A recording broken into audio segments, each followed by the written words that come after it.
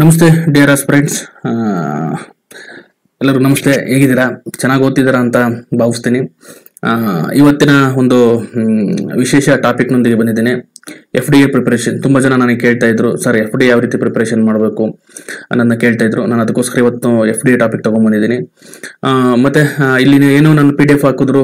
ಮತ್ತೆ ನಾನು ಏನೇ ಒಂದು ಕೆಲವೊಂದು ಬುಕ್ಸ್ಗಳನ್ನೆಲ್ಲ ನಾನು ಇಲ್ಲಿ ನಿಮಗೆ ಮೆನ್ಷನ್ ಮಾಡಿದ್ದೀನಿ. ಮತ್ತೆ ಅದರದ್ದು ಪಿ ಡಿ ಎಫ್ ಕಾಪಿನ ನನ್ನ ಟೆಲಿಗ್ರಾಮ್ ಗ್ರೂಪಲ್ಲಿ ಹಾಕಿದ್ದೀನಿ. ನೀವು ದಯವಿಟ್ಟು ಹೋಗಿ ನನ್ನ ಟೆಲಿಗ್ರಾಮ್ ಗ್ರೂಪ್ ಕಿಟಿಸ್ ಕಾಂಪಿಟೇಟಿವ್ ಎಕ್ಸಾಮ್ ಕಿಟಿ ಕಾಂಪಿಟೇಟಿವ್ ಸಿದ್ಧಾಂತ ಅನ್ನೋ ಒಂದು ಟೆಲಿಗ್ರಾಮ್ ಗ್ರೂಪ್ಗೆ ಮತ್ತೆ ನೀವು ಜಾಯಿನ್ ಆದರೆ ಅದರಲ್ಲಿ ನಿಮಗೆ ಈ ಪಿ ಡಿ ಎಫ್ ಮತ್ತೆ ನಾನು ಯಾವುದೇ ಪಿ ಡಿ ಎಫ್ಗಳು ಪೇಪರ್ ಕಟ್ಟಿಂಗ್ಸು ಹಾಕಿದ್ರೆ ನಿಮಗೆ ಸಿಗುತ್ತೆ. ಹಾಗಾಗಿ ಅದನ್ನು ಯುಟಿಲೈಸ್ ಮಾಡ್ಕೊಳ್ಳಿ. ಯಾಕೆಂದರೆ ನಾನು ಹಾಕೋದು ಓನ್ಲಿ ಅಥೆಂಟಿಕೇಶನ್ ಬುಕ್ಕು ಮತ್ತು ನಾನು ಏನು ಎಕ್ಸ್ಪೆರಿಮೆಂಟ್ ಮಾಡಿ ಅಥವಾ ನನ್ನ ಒಂದು ಲೈಫಲ್ಲಿ ಎಕ್ಸ್ಪೆರಿಮೆಂಟ್ ಮಾಡಿ ನಾನು ಸಕ್ಸಸ್ ಆಗಿರೋದನ್ನ ಮಾತ್ರ ನಾನು ನಿಮ್ಗೆ ಹೇಳ್ತೀನಿ. ಈ ನನ್ನ ಒಂದು ಉದ್ದೇಶ ಏನಂತಂದ್ರೆ ಕರೆಕ್ಟ್ ಮಾರ್ಗದರ್ಶನ ಕೊಡಬೇಕು. ಯಾರಿಗೆ ಕಾಂಪಿಟೇಟಿವ್ ಎಕ್ಸಾಮ್ಸ್ ಹೋದರಿಗೆ ಒಂದು ಕರೆಕ್ಟ್ ಮಾರ್ಗದರ್ಶನ ಕೊಡಬೇಕು. ಅವರು ಒಂದೇ ಅಟೆಂಪ್ಟ್ ಅಲ್ಲಿ ಅಥವಾ ಒಂದೇ ಪ್ರಯತ್ನದಲ್ಲಿ ಪಾಸ್ ಆಗಬೇಕು. ಯಾಕಂದ್ರೆ ಟೈಮ್ ವೇಸ್ಟ್ ಮಾಡ್ಕೊಂಡು ಕೂತ್ಕೊಳ್ಳೋಕೆ ಟೈಮ್ ಇಲ್ಲ ನಮಗೆ. ಮತ್ತೆ ಇವರು ಒಂದೇ ಸತಿ ಕಾಲ್ ಫಾರ್ಮ್ ಮಾಡೋದು ಈಗ ಎಫ್ ಡಿ ಎಕ್ಸಾಮ್ ಬಗ್ಗೆ ನಾನು ಮಾತಾಡ್ತಿದ್ದೀನಿ. ಒಂದ್ಸತಿ ಕಾಲ್ ಮಾಡಿದ್ರೆ ತುಂಬಾ ವರ್ಷ ಗ್ಯಾಪ್ ಸಿಕ್ಬಿಡುತ್ತೆ. ಆಮೇಲೆ ಕೆಲವೊಂದ್ಸತಿ ಕಾಲೇ ಮಾಡಲ್ಲ, ತುಂಬಾ ವರ್ಷಗಳಾಗ್ಬಿಡುತ್ತೆ. ಹೀಗಾಗಿ ನಿಮ್ ಸಿಕ್ಕಿನ ಅವಕಾಶಗಳನ್ನ ಕರೆಕ್ಟಾಗಿ ಹೆಂಗ್ ಯುಟಿಲೈಸ್ ಮಾಡ್ಕೋಬೇಕು ಅನ್ನೋದನ್ನ ಸ್ಟ್ರಾಟಜಿಗಳು ಇವನ್ ಪಿ ಎಸ್ ಆಗಿರಲಿ ಪಿ ಸಿ ಆಗಿರಲಿ F D S D competitive group C K S prelims mains ಇಂಟರ್ವ್ಯೂವರೆಗೂ ನಾನು ನಿಮಗೆ ಮುಂದೆ ವಿಡಿಯೋಗಳಲ್ಲಿ ಗೈಡ್ ಮಾಡ್ತಾ ಬರ್ತೀನಿ. ಓನ್ಲಿ ಸ್ಟ್ರಾಟಜೀಸ್ಗಳು ಮಾತ್ರ ನಾನು ಎಕ್ಸ್ಪ್ಲೇನ್ ಮಾಡಿ ಹೇಳ್ತೀನಿ. ಕೆಲವರು ನನಗೆ, ಸರ್ ಕ್ಲಾಸ್ ಮಾಡಿ ಅಂತ ಕೇಳ್ತಾ ಇದ್ದಾರೆ ಬಟ್ ಈಗ ಸದ್ಯದಲ್ಲಿ ಸಾಧ್ಯ ಆಗ್ತಾ ಇಲ್ಲ, ಯಾಕೆಂದ್ರೆ ನಾನು ಎಲೆಕ್ಷನ್ ಮೂಮೆಂಟ್ ಇದೆ, ಮತ್ತೆ ಬ್ಯುಸಿ ವರ್ಕ್ ಶೆಡ್ಯೂಲ್ ಇರೋದ್ರಿಂದ ಸ್ವಲ್ಪ ಕಷ್ಟ ಆಗ್ತಿದೆ. ನೋಡೋಣ, ಮುಂದಿನ ದಿನಗಳಲ್ಲಿ ಏನಾದರೂ ಸಮಯ ಸಿಕ್ಕಿದ್ರೆ ಸೈನ್ಸ್ ಅಂಡ್ ಟೆಕ್ನಾಲಜಿ ಪಾಠ ಮಾಡಬೇಕು ಅಂತ ಅಂದ್ಕೊಂಡಿದ್ದೀನಿ ಅದು ಮುಂದಿನ ದಿನಗಳು ನಿಮ್ಮ ಹತ್ರ ಡಿಸ್ಕಸ್ ಮಾಡ್ತೀನಿ. ಈಗ ಇವಕ್ಕೆ ಇವತ್ತಿನ ಒಂದು ಹಾಟ್ ಟಾಪಿಕ್ ಅಂತಲೇ ಕರಿಬೋದು, ಯಾಕೆಂದ್ರೆ ಎಫ್ ಡಿ ಎ ಮತ್ತೆ ಎಚ್ ಡಿ ಎ ಪ್ರಿಪರೇಷನ್ ಯಾಕೆ ಅಂತಂದ್ರೆ ನಮ್ಮ ಆಲ್ಮೋಸ್ಟ್ ಅಲ್ಲೂ ನಮ್ಮ ಕರ್ನಾಟಕದಲ್ಲಿ ಅತಿ ಹೆಚ್ಚು ಜಾಬು ಇಷ್ಟಪಡೋದು ಅಥವಾ ಒಂದು, ಏನಂದ್ರೆ, ಜಾಸ್ತಿ ಕಾಲ್ ಫಾರ್ಮ್ ಆಗೋದನ್ನು ಪಿ ಸಿ ಮತ್ತೆ ಪಿ ಎಸ್ ಐ ಬಿಟ್ರೆ F D A ಜಾಬ್ನೇ but F D A job ಅನ್ನೋದು ವೆರಿ ಏನಂದ್ರೆ, ತುಂಬಾ ಕಾಂಪಿಟೇಷನ್ ಇರುತ್ತೆ, ತುಂಬಾ ಮತ್ತೆ ಕಷ್ಟನೂ ಇರುತ್ತೆ ಸ್ವಲ್ಪ. Comparatively P S I P C ಹೋಲಿಸ್ಕೊಂಡ್ರೆ ಎಫ್ ಡಿ ಎ ಕಷ್ಟ. ಬಟ್ ಇದರಲ್ಲಿ ಒಂದು ಏನಂದ್ರೆ ಕಂಪೇರಿಟಿವ್ಲಿ ಅವೆರಡಕ್ಕೆ ಎಕ್ಸಾಮ್ಸ್ ಕೂತ್ಕೊಂಡಾಗ ಇದು ಸ್ವಲ್ಪ ಕಾನ್ಸೆಪ್ಟ್ ಬೇಸ್ಡ್ ಕ್ವಶನ್ಸ್ಗಳನ್ನ ಎಕ್ಸ್ಪೆಕ್ಟ್ ಮಾಡ್ತಾರೆ. K P C question paper ತೆಗೆಯೋದ್ರಿಂದ ಸ್ವಲ್ಪ ಅಂತ ಲೆವೆಲ್ ಸ್ವಲ್ಪ ಮೇಲೇನೆ ಇರುತ್ತೆ ಪಿ ಎಸ್ ಐ ಮತ್ತೆ ಪಿ ಸಿ ಓದ್ಕೊ, ಓದ್ಕೊಂಡ್ರೆ.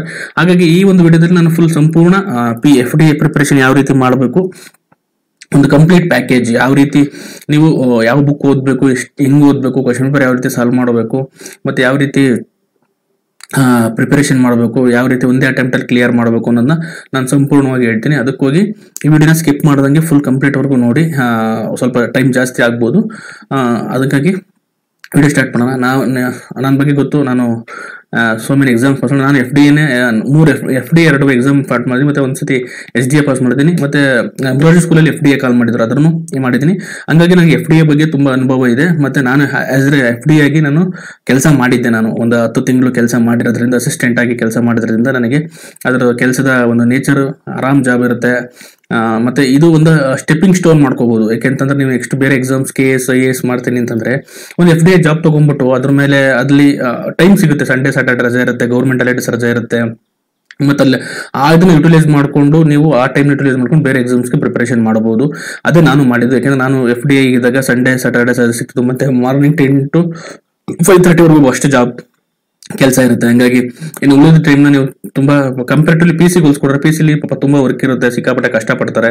ಅವರು ಟೈಮ್ ಮ್ಯಾನೇಜ್ಮೆಂಟ್ ಇವ್ರು ಅವ್ರಿಗೆ ಹೋಲಿಸ್ಕೊಂಡ್ರೆ ನೀವು ಎಫ್ ಡಿ ಎಸ್ ಡಿ ಎಗಳು ಆದ್ರೆ ಆ, ತುಂಬಾ ಟೈಮ್ ಸಿಗುತ್ತೆ. ನೀವು ಬೇರೆ ಎಕ್ಸಾಮ್ಸ್ಗೆ ನಮ್ಮ ಎಕನಾಮಿಕಲ್ ಸ್ಟೇಬಿಲಿಟಿ ಮಾಡಿಕೊಂಡು ಮನೆಯ ಮೇಲೆ ಡಿಪೆಂಡ್ ಆಗ್ದಂಗೆ ಮನೆಯವರಿಗೆ ಕಷ್ಟ ಕೊಡ್ದಂಗೆ ಅಪ್ಪ ಅಮ್ಮಂಗೆ ಸ್ವಲ್ಪ ಹೆಲ್ಪ್ ಮಾಡಿಕೊಂಡು ಒಂದು ಮೂವತ್ತೈದು ನಲ್ವತ್ತು ಸಾವಿರ ಸಂಬಳ ಅಂತೂ ಬರುತ್ತೆ ಎಫ್ ಡಿ ಎನಲ್ಲಿ ಎಸ್ ಡಿ ಎನಲ್ಲಿ ಒಂದು ಮೂವತ್ತು ಮೂವತ್ತೈದು ಸಾವಿರ ಸಂಬಳ ಬರುತ್ತೆ. ಆ ಸಂಬಳದಲ್ಲಿ ಜೀವನ ಮಾಡಿಕೊಂಡು ಬೇರೆ ಎಕ್ಸಾಮ್ಸ್ಗೆ ಪ್ರಿಪೇರ್ ಆಗೋಕ್ಕೆ ಇದೊಂದು ಒಳ್ಳೆ ಆಪರ್ಚುನಿಟಿ ಹಂಗಾಗಿ ಯಾರು ಇದಕ್ಕೆ ಅಷ್ಟೇ ಟಫ್ ಇದೆ. ಇದು ನೀವು ಓದಿದ್ರೆ ನೀವು ಕೆ ಎಸ್ ಪಾಸ್ ಮಾಡ್ದಂಗೆ. ಹಾಗಾಗಿ ಈಗ ಎಫ್ ಡಿ ಬಗ್ಗೆ ಒಂದು ಸಂಪೂರ್ಣ ಮಾಹಿತಿನ ತಿಳ್ಕೊಂತ ಹೋಗೋಣ ಓಕೆನಾ ಆದ್ರೆ ಎಫ್ ಡಿ ಸ್ಟ್ರಾಟಜಿ ಬಗ್ಗೆ ಯಾವ ರೀತಿ ತಿಳ್ಕೊಂತ ಹೋಗೋಣ ನಾವು ಓಕೆನಾ ಮತ್ತೆ ಇದರಲ್ಲಿ ನಾನು ಎಫ್ ಡಿ ದಲ್ಲಿ ಪಾರ್ಟ್ ಮಾಡ್ಕೊಂಡಿದ್ದೀನಿ ಪ್ರಿಪರೇಷನ್ ಬುಕ್ ಲಿಸ್ಟ್ ಮೇನ್ ಒಂದು ನಿಮಿಷ.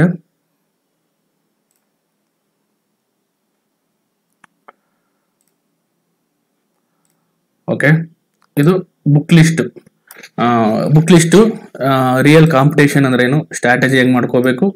ಜಿ ಎಸ್ ಒನ್ ಪೇಪರ್ ಹೆಂಗಿರುತ್ತೆ? ಮತ್ತೆ general Kannada general English paper ಯಾವ ರೀತಿ ಇರುತ್ತೆ? ಮತ್ತೆ ಕಂಪಲ್ಸರಿ ಕನ್ನಡ ಹೆಂಗಿರುತ್ತೆ? ಓಲ್ಡ್ ಕ್ವಶನ್ ಪೇಪರ್ ಯಾವ ರೀತಿ ಸಾಲ್ವ್ ಮಾಡಬೇಕು? ಟೈಮ್ ಟೇಬಲ್ ಯಾವ ರೀತಿ ಮಾಡಬೇಕು? ಮತ್ತೆ ರಿವಿಷನ್ ಯಾವ ರೀತಿ ಮಾಡಬೇಕು ಅನ್ನೋದು ನಾನು ಇಲ್ಲಿ ನಿಮ್ಮ ಹತ್ರ ತಿಳಿಸ್ತಾ ಹೋಗ್ತೇನೆ. ಈಗ ಮೊದಲಿಗೆ ಬುಕ್ ಲಿಸ್ಟಿಗೆ ಬಂತಂದ್ರೆ ನಾನು ಕೆಳಗಡೆ ತೋರಿಸ್ತೀನಿ ನಿಮಗೆ ಬುಕ್ ಲಿಸ್ಟ್ ಯಾವ್ದು ಓದಬೇಕು ಎಫ್ ಡಿ ಎಗೆ ಯಾವ ಬುಕ್ ಲಿಸ್ಟ್ ಇದೆ, ಯಾವ್ದು ವೆರಿ ಇಂಪಾರ್ಟೆಂಟ್ ಬುಕ್ಸ್ ಮತ್ತೆ ಇವು ಓದಿದ್ರೆ ಹಂಡ್ರೆಡ್ ಪರ್ಸೆಂಟ್ ಎಫ್ ಡಿ ನೀವು ಹಂಡ್ರೆಡ್ ಪರ್ಸೆಂಟ್ ಆಗ್ತೀರಾ. ಯಾಕೆಂದ್ರೆ ಅದು ಎಲ್ಲ ಗೌರ್ಮೆಂಟ್ ಎಡಿಷನ್ ಬುಕ್ಸ್ಗಳು ಗೌರ್ಮೆಂಟಿಂದ ಪಬ್ಲಿಕೇಶನ್ ಆಗಿರೋ ಬುಕ್ಸ್ಗಳನ್ನ ನಾನು ರೆಫರ್ ಮಾಡೋಕೆ ಹೇಳ್ತೀನಿ. ನೀವು ಅದನ್ನ ಓದಿದ್ರೆ ನಿಮಗೆ ವ್ಯಾಲ್ಯೂ ಎಡಿಷನ್ ಆಗುತ್ತೆ. ಹಾಗಾಗಿ ಆ ಬುಕ್ಸ್ಗಳನ್ನ ರೆಫರ್ ಮಾಡಿ ಹೇಳ್ತೀನಿ. ಮತ್ತೆ ಸರ್ನಾ ಒಂದು ಬುಕ್ ಮೂರು ರಿವಿಷನ್ಸ್ ಈ ಕೆಲವರು ಏನು ಮಾಡ್ತಾರೆ ತುಂಬ ಬುಕ್ಸ್ಗಳು ಕಲೆಕ್ಟ್ ಮಾಡ್ಕೊಂಡು ಕೂತ್ಕೊಂಡು ಓದಕ್ಕೆ ಸ್ಟಾರ್ಟ್ ಮಾಡಿ, ಅದು ಚೆನ್ನಾಗಿದೆ ಇದು ಚೆನ್ನಾಗೈತೆ ಮಾರ್ಕೆಟಲ್ಲಿ ಬರೋ ಬುಕ್ಸ್ಗಳನ್ನ ತೊಗೊಂಡು ಕೂತ್ಕೊಂತಾರೆ, ಅದು ವೇಸ್ಟು ಅದು ಮಾಡಬೇಡಿ. ಓಕೆನಾ ರಿಯಲ್ ಕಾಂಪಿಟೇಷನ್ ಈಗ ರಿಯಲ್ ಕಾಂಪಿಟೇಷನ್ ಏನಂತಂದ್ರೆ ಎಫ್ ಡಿ ಎಗೆ ಎಷ್ಟು ಜನ ಅಪ್ಲೈ ಮಾಡ್ತಾರೆ ಅಂತಂದ್ರೆ ನಿಮಗೆ ಗೊತ್ತಿಲ್ಲ. ಯಾಕೆಂತಂದರೆ ಎಲ್ಲಾ ಕೆಟಗರಿ ಸ್ಟೂಡೆಂಟ್ಸ್ ಅಪ್ಲೈ ಮಾಡ್ತಾರೆ. ಎಲ್ಲ ಏಜ್ ಕೆಟಗರಿ ಸ್ಟೂಡೆಂಟ್ಸು ಎಲ್ಲ ಕ್ವಾಲಿಫಿ ಡಿಗ್ರಿ ಕ್ವಾಲಿಫಿಕೇಶನ್ ಆಗಿರೋರು. ಮತ್ತೆ ಎಸ್ ಡಿ ಎಗೆ ಅಪ್ ಟು ಪಿ ಯು ವರ್ಗು, ಯಾರು ಜೆ ಜಿ ಒ ಸಿ ಮಾಡಿರ್ಬೋದು ಡಿಪ್ಲೊಮಾ ಮಾಡಿರ್ಬೋದು ಪಿ ಎಸ್ ಎಲ್ ಸಿ ಮಾಡಿರ್ಬೋದು C B S C syllabus ಓದಿರೋರು state syllabus ಓದಿರೋಲ್ಲ ಅಪ್ಲೈ ಮಾಡ್ತಾರೆ ಎಸ್ ಡಿ ಎಗೆ ಎಫ್ ಡಿ ಎಗೆ ಡಿಗ್ರಿ ಓದಿರೋ ಎಲ್ಲ almost B A B B com engineering M B B S ಬೇಕಾದ್ರು ಅಪ್ಲೈ ಮಾಡ್ಬೋದು. ಎಲ್ಲ ಹುಡುಗರು ಅಪ್ಲೈ ಮಾಡ್ತಾರೆ competition up to age forty forty five ವರೆಗೂ ಅಪ್ಲೈ ಮಾಡಿ ಎಕ್ಸಾಮ್ಸ್ನ ಬರಿತಾ ಇರ್ತಾರೆ. ಎಷ್ಟೋ ಜನ ಜಾಬಲ್ಲಿ ಇದ್ಕೊಂಡು ಪಿ ಯು ಈಗ ಟೀಚರ್ಗಳು ಇರ್ತಾರೆ, ಅವರು F D S D exam ಬರೀತಿರ್ತಾರೆ. ಇನ್ನು ಪಿ ಸಿಗಳು ಇರ್ತಾರೆ, ಅವರು F D S D exam ಬರೀತಾರೆ. ಇಲ್ಲಿ ಕಾಂಪಿಟೇಷನ್ ಪಿ ಸಿಗಾದ್ರೆ ಹಂಗಲ್ಲ, ಯಾಕಂದ್ರೆ ಅಲ್ಲಿ ಸ್ವಲ್ಪ ಫಿಸಿಕಲ್ ಮ್ಯಾಟರ್ ಆಗುತ್ತೆ, ಮತ್ತೆ ಐಟು ಅದರಲ್ಲಿ ಕ್ಯಾಟಗರಿನಲ್ಲಿ ಒಂದಷ್ಟು ಜನ ಹೋಗ್ಬಿಡ್ತಾರೆ. ಐಟ್ ಆಗಿರ್ಬೋದು ಫಿಸಿಕಲ್ ಫಿಟ್ನೆಸ್ ಇಲ್ದವರು, ಮತ್ತೆ ಹ್ಯಾಂಡಿಕ್ಯಾಪ್ಸ್ಗಳು ಮತ್ತೆ ಆ ಥರದವರು ಕೆಲವೊಂದು ಹೆಣ್- ಹೆಣ್ಮಕ್ಳು ತುಂಬಾ ಇದು ಮಾಡ್ತಾರೆ. ಪಿ ಸಿ ಎಕ್ಸಾಮ್ಸ್ ಅಪ್ಲೈ ಮಾಡಕ್ಕೆ ಬೇಡ ಪೊಲೀಸ್ ಡಿಪಾರ್ಟ್ಮೆಂಟ್ಗೆ ಬಟ್ ಇಲ್ಲಿ F D S D exam ಆಗಲ್ಲ ಯಾಕಂದ್ರೆ ಒಳ್ಳೊಳ್ಳೆ ಡಿಪಾರ್ಟ್ಮೆಂಟ್ಗಳು ಇರ್ತವೆ. ಯಾಕೆಂದ್ರೆ ಆಹಾರ ಮತ್ತು ನಾಗರಿಕ secretariat revenue department D C office taluk office ಕೋರ್ಟ್ಗಳು ತುಂಬಾ ಕಡೆ ಆಪರ್ಚುನಿಟೀಸ್ ಇರುತ್ತೆ ಎಫ್ ಡಿ ಎಸ್ ಡಿ ಎಗಳಿಗೆ ಹಂಗಾಗಿ ಇದಕ್ಕೆ ತುಂಬಾ ಜನ ಬರೀತಾರೆ. ಎಲ್ಲರೂ ಬರೀತಾರೆ. ಆಲ್ಮೋಸ್ಟ್ ಸುಮ್ಮನೆ ಒಂದ ನೂರು ಸುಮ್ಮನೆ ಅಪ್ಲಿಕೇಶನ್ ಅಪ್ಲಿಕೇಶನ್ ಆದರೂ ಆಗ್ತಾರೆ ಕಾಂಪಿಟೇಷನ್ ಕೊಡೋದು ಅದ್ರಲ್ಲಿ ಮಾತ್ರ fifty to seven sixty percent competition ಇದ್ದೇ ಇರುತ್ತೆ. ಹಾಗಾಗಿ ನೀವು ಎಲ್ಲಾ ಕ್ಯಾಂಡಿಡೇಟ್ ಅಂದ್ರೆ P S P S A ಓದ್ತಿರೋರು apply ಮಾಡ್ತಾರೆ. P U C even U P S C candidates ಕೂಡ ಏನ್ ಮಾಡ್ತಾರೆ ಎಕ್ಸಾಮ್ನ ಅಪ್ಲೈ ಮಾಡಿ ಬರೆಯಕ್ಕೆ ಟ್ರೈ ಮಾಡ್ತಾರೆ. ಗೊತ್ತಾಯ್ತಾ? ಹಂಗಾಗಿ ಇಲ್ಲಿ ತುಂಬಾ ಕಾಂಪಿಟೇಷನ್ ಇರುತ್ತೆ. ಮತ್ತೆ ಸ್ಟ್ರಾಟಜಿ ನೀವು ಕರೆಕ್ಟ್ ಆಗಿ ಪ್ಲಾನಿಂಗ್ ಮಾಡ್ಕೋಬೇಕು. ಯಾಕೆಂದ್ರೆ ಪ್ಲಾನಿಂಗ್ ಮಾಡ್ಕೊಂಡು ನೀವು ಎಕ್ಸಿಕ್ಯೂಟ್ ಮಾಡಿದ್ರೆ ಮಾತ್ರ ಇದ್ರಲ್ಲಾಗುತ್ತೆ. ವಿತ್ ಯಾವ ಬುಕ್ ಓದಬೇಕು, ಯಾವ ಯಾವ ರೀತಿ ಕ್ವಶನ್ ಪೇಪರ್ ಬಿಡಿಸ್ಬೇಕು, ಯಾವ ರೀತಿ ನಾನು F D A question paper ಇದೆ ಕ್ವಶನ್ ಇದೆ ಅದು ನಾನು ಹೆಂಗೆ ಅಂಡರ್ಸ್ಟ್ಯಾಂಡ್ ಮಾಡ್ಕೊಂಡು ಬಿಡಿಸ್ಬೇಕು ಅನ್ನೋದು ನಿಮಗೆ ತುಂಬಾ ಸ್ಟ್ರಾಟಜಿ ಬೇಕಾಗುತ್ತೆ. ಅದನ್ನ ಪರ್ಫೆಕ್ಟ್ ಎಕ್ಸಿಕ್ಯೂಟ್ ಮಾಡಬೇಕು. ಆಮೇಲೆ ನೀವು ಬರೀ ನಾನು ಹೇಳಿದ ಬುಕ್ಸ್ಗಳನ್ನೆಲ್ಲ ಓದ್ಬಿಟ್ರೆ ನೀವೇನು ಎಫ್ ಡಿಗಳು ಆಗಲ್ಲ. ಯಾಕೆಂತಂದ್ರೆ ನೀವು ಅದನ್ನ ಅರ್ಥ ಮಾಡ್ಕೊಂಡು ಅದರಲ್ಲಿ ಬರೋ ಕ್ವಶನ್ಗಳನ್ನ ಅನಾಲಿಸಿಸ್ ಮಾಡಿ ಎಫ್ ಡಿ ಕೇಳೋ ಕ್ವಶನ್ಗಳನ್ನ ಆನ್ಸರ್ ಮಾಡ್ಬೇಕು ಅಲ್ಲಿ ಆಪ್ಷನ್ ವೈಸ್ ತುಂಬಾ ಡಿಫಿಕಲ್ಟಿ ಮಾಡಿರ್ತಾರೆ. ಎ ಬಿ ಸಿ ಕೊಟ್ಬಿಡ್ತಾರೆ. ಕೆಲವೊಂದು ಅನಾಲಿಟಿಕಲ್ ಇರುತ್ತೆ ಅಂಡರ್ಸ್ಟ್ಯಾಂಡಿಂಗ್ ಲೆವೆಲ್ ಲೆವೆಲ್ ಅಲ್ಲಿ ಕ್ವಶನ್ಸ್ ಇರುತ್ತೆ ಅಪ್ಲಿಕೇಶನ್ ಲೆವೆಲ್ ಕ್ವಶನ್ಸ್ ಇರುತ್ತೆ. ಹಾಗಾಗಿ ಅದು ಸ್ಟ್ರಾಟಜಿ ತುಂಬಾ ಇಂಪಾರ್ಟೆಂಟ್ ನೀವು ಒಂದ್ಸತಿ ಯಾಕಂದ್ರೆ ಪ್ರಿಪರೇಷನ್ ಮಾಡ್ಬೇಕಾದ್ರೆ ಸುಮ್ಮನೆ ಏನ್ ಜನರಲ್ ಪ್ರಿಪರೇಷನ್ ಮಾಡಿದ್ರೆ ಆಗಲ್ಲ. ನಾ, ಏ ಬಿಡಪ್ಪ ನಾನೇನು ಎಕ್ಸಾಮ್ ಬರೀತೀನಿ ಅಂತ. ನೀವು ಭಯಂಕರ ಪ್ರಿಪರೇಷನ್ ಮಾಡಿರ್ಬೇಕು. ಪಕ್ಕಾ ಪ್ರಿಪರೇಷನ್ ಮಾಡಿದ್ರೆ ಮಾತ್ರ ಸೆಲೆಕ್ಟ್ ಆಗ್ತೀರಾ. ಒಂದು ಪಿ ಎಸ್ ಐ ಪಾಸ್ ಆಗ್ಬೋದು. ನಾನು ಒಂದು ಹೇಳ್ತೀನಿ ಕೇಳಿ ನಿಮ್ಗೆ. ಪಿ ಎಸ್ ಐ ಪಾಸ್ ಆಗ್ಬೋದು, ನೀವು ಎಫ್ ಡಿ ಎ ಪಾಸ್ ಆಗಕ್ಕಾಗಲ್ಲ. ಯಾಕೆಂದ್ರೆ F D A K S prelims equal ನೀವು K S prelims pass F D A pass ಆಗಿದ್ದೀರಾ ಅಂದ್ರೆ ಕೆ ಎಸ್ ಪ್ರಿಲಿಮ್ಸ್ ಪಾಸ್ ಆಗ್ತೀರಾ ಅಂತ ಅರ್ಥ. ಯಾಕಂದ್ರೆ ಆ level question paper even S D also S D ಸ್ವಲ್ಪ ಕಡಿಮೆ ಇರುತ್ತೆ ಕೆಲವೊಂದು ಡೈರೆಕ್ಟ್ ಕ್ವಶನ್ಸ್ ಕೇಳ್ತಾರೆ. ಅದರಲ್ಲೂ analytical questions understanding level questions ಮತ್ತೆ ಅಪ್ಲಿಕೇಶನ್ ಲೆವೆಲ್ ಕ್ವಶನ್ಸ್ ಜಾಸ್ತಿ ಇರುತ್ತೆ. ಹಂಗಾಗಿ ನೀವು ಮಾಮೂಲಿ ಪಿ ಸಿಗೆ ಪಿ ಎಸ್ ಐಗೆ ಓದಂಗೆ ನೀವೇನಾದ್ರೂ ಎಫ್ ಡಿ ಓದಿದ್ರೆ ಡೆಫಿನೆಟ್ಲಿ ಕ್ಲಿಯರ್ ಮಾಡೋಕ್ಕಾಗಲ್ಲ. ಹಂಗಾಗಿ ಸ್ವಲ್ಪ ಇದರಲ್ಲಿ ಹೆಚ್ಚಿನ ಆಳಕ್ಕೆ ಇಳಿಬೇಕಾಗುತ್ತೆ ನೀವು. ಆಳಕ್ಕೆ ಇಳಿದು ಅಂಡರ್ಸ್ಟ್ಯಾಂಡ್ ಮಾಡ್ಕೊಂಡು ಓದ್ಬೇಕಾಗುತ್ತೆ. ಡೈರೆಕ್ಟ್ ಕ್ವಶನ್ಸ್ ಅಂತೂ ತುಂಬಾ ಕಮ್ಮಿ, ಒಂದ್ ಇಪ್ಪತ್ತರಿಂದ ಮೂವತ್ತು ಕ್ವಶನ್ಸ್ ಡೈರೆಕ್ಟ್ ಕ್ವಶನ್ಸ್ ಇರುತ್ತೆ. ಬಿಟ್ರೆ ಬೇರೆ ಕ್ವಶನ್ ಆಮೇಲೆ ಕೆ ಪಿ ಎಸ್ ಸಿ ಹೆಂಗೆ ಅಂತಂದ್ರೆ ಮೆಂಟ್ಲ್ಗಳು ಇದ್ದಂಗೆ. ಎಲ್ಲೆಲ್ಲಿಂದಲೂ ಕ್ವಶನ್ಸ್ ಬಿಸಾಕ್ಬಿಡ್ತಾರೆ. ಆ ಕ್ವಶನ್ಸ್ಗಳು ಅದೇ ಫಸ್ಟ್ ಟೈಮ್ ಬಂದ್, ಬಂದಿರ್ತವೆ. ಅದು ಎಫ್ ಡಿ ಎಸ್ ಡಿ ಮೇಲೆ ಟ್ರೈ ಮಾಡ್ತಾರೆ ಅವರು. ಅಂತ ಕ್ವಶನ್ಸ್ಗಳನ್ನ ಯಾಕೆಂತಂದ್ರೆ ಆ ಡಿಫಿಕಲ್ಟಿ ಅಷ್ಟಿರುತ್ತೆ ಅಷ್ಟು ಕಾಂಪಿಟೇಷನ್ ಅಷ್ಟಿರುತ್ತೆ ಹಂಗಾಗಿ ಅದನ್ನ ನೀವು ಅಂಡರ್ಸ್ಟ್ಯಾಂಡ್ ಮಾಡ್ಕೊಂಡು ಓದಿದ್ರೆ ನೀವು ಸಕ್ಸಸ್ ಆಗ್ತೀರಾ. ನೆಕ್ಸ್ಟ್ ಇದರಲ್ಲಿ ಜಿ ಎಸ್ ಪೇಪರ್ ಒನ್ ಅಂತ ಬರುತ್ತೆ. ಇದರಲ್ಲಿ ಎಲ್ಲ ಸ್ಟಡಿ ಮಾಡಬೇಕು. ನಾನು ಹೇಳ್ತೀನಿ, ಕೆಳಗಡೆ ಸಿಲೆಬಸ್ ಏನೇನು ಹೇಳಿದೆ ಅಂತ ಹೇಳ್ತೀನಿ. ಜನರಲ್ ಅಂದ್ರೆ ಜನರ ಕನ್ನಡ ತಗೋಬಹುದು ಜನರಲ್ ಇಂಗ್ಲಿಷ್ ತಗೋಬಹುದು ಅದನ್ನ ನೀವು ಇದರಲ್ಲಿ ಡಿಸೈಡ್ ಮಾಡಬೇಕು. ಅಂದ್ರೆ ಯಾವಾಗ ಅಪ್ಲಿಕೇಶನ್ ಆಗ್ತೀರಾ ಮಾಡಿ ಈ ಕಂಪಲ್ಸರಿ ಕನ್ನಡ ಒಂದಿದೆ. ಕಂಪಲ್ಸರಿ ಕನ್ನಡ ಯಾರು ಎಸ್ ಎಲ್ ಸಿ ನಲ್ಲಿ ಫಸ್ಟ್ ಲ್ಯಾಂಗ್ವೇಜ್ ಸೆಕೆಂಡ್ ಲ್ಯಾಂಗ್ವೇಜ್ ತಗೊಂಡಿಲ್ಲ ಅವರು ಬರಿಬೇಕು ಅಂತ ಇತ್ತು. ಈಗ ಎಲ್ಲರೂ ಬರಿಬೇಕು ಅಂತ ಮಾಡ್ತಾ ಇದ್ದಾರೆ. ಕೆಲವೊಂದು ಲಾಸ್ಟ್ ಮೊನ್ನೆ ಎಕ್ಸಾಮ್ಸ್ ಅಲ್ಲಿ ಎಲ್ಲರೂ ಯಾರು ಗ್ರೂಪ್ಸ್ಗೆ ಅಪ್ಲೈ ಮಾಡಿದ್ರು ಎಲ್ಲರೂ ಬರಿಬೇಕು ಅಂತ ಕನ್ನ ಒಂದ್ಸಲಿ ಬರೆದ್ರೆ ಪಾಸ್ ಆದ್ರೆ ಇದು ಸೇಮ್ ನೀವು ಕನ್ನಡ ಏನಾದ್ರು ಎಫ್ ಡಿ ನಲ್ಲಿ ಕನ್ನಡ ಜನರಲ್ ಕನ್ನಡ ತಗೊಂಡಿದ್ರೆ ನೀವು ಆರಾಮಾಗಿ ಅದನ್ನ ಪಾಸ್ ಆಗ್ತೀರಾ. ಕಾಂಪ್ರೇಷನ್ ಇರುತ್ತೆ ವಿರುದ್ಧ ಪದ, ಸಮಾನಾರ್ಥಕ ಪದಗಳಿರ್ತವೆ. ತುಂಬಾ ಈಸಿ ಆಗಿರುತ್ತೆ. ಹಂಗಾಗಿ ನೀವು ಅದ್ರ ಬಗ್ಗೆ ತಲೆ ಕೆಡಿಸ್ಕೋಬೇಡಿ. ಈಸಿ ಈಸಿ ಇರುತ್ತೆ ಎಕ್ಸಾಮ್ ಅದು.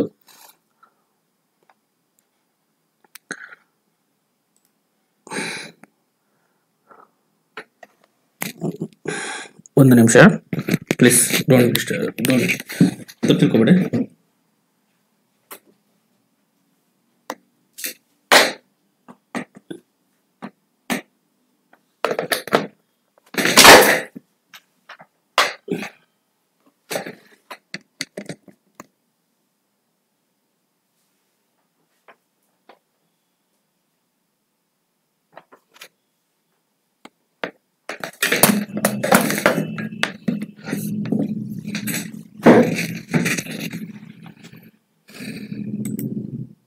okay sorry charge laptop charge ಇರಲಿಲ್ಲ. ಹಂಗಾಗಿ ಚಾರ್ಜ್ ಹಾಕೋಣ ಚಾರ್ಜ್ ಚಾರ್ಜ್ ಹಾಕೋಕ್ಕಾಗಿದೆ. ಸಾರಿ ಡಿಸ್ಟರ್ಬ್ ಆಗಿದೆ.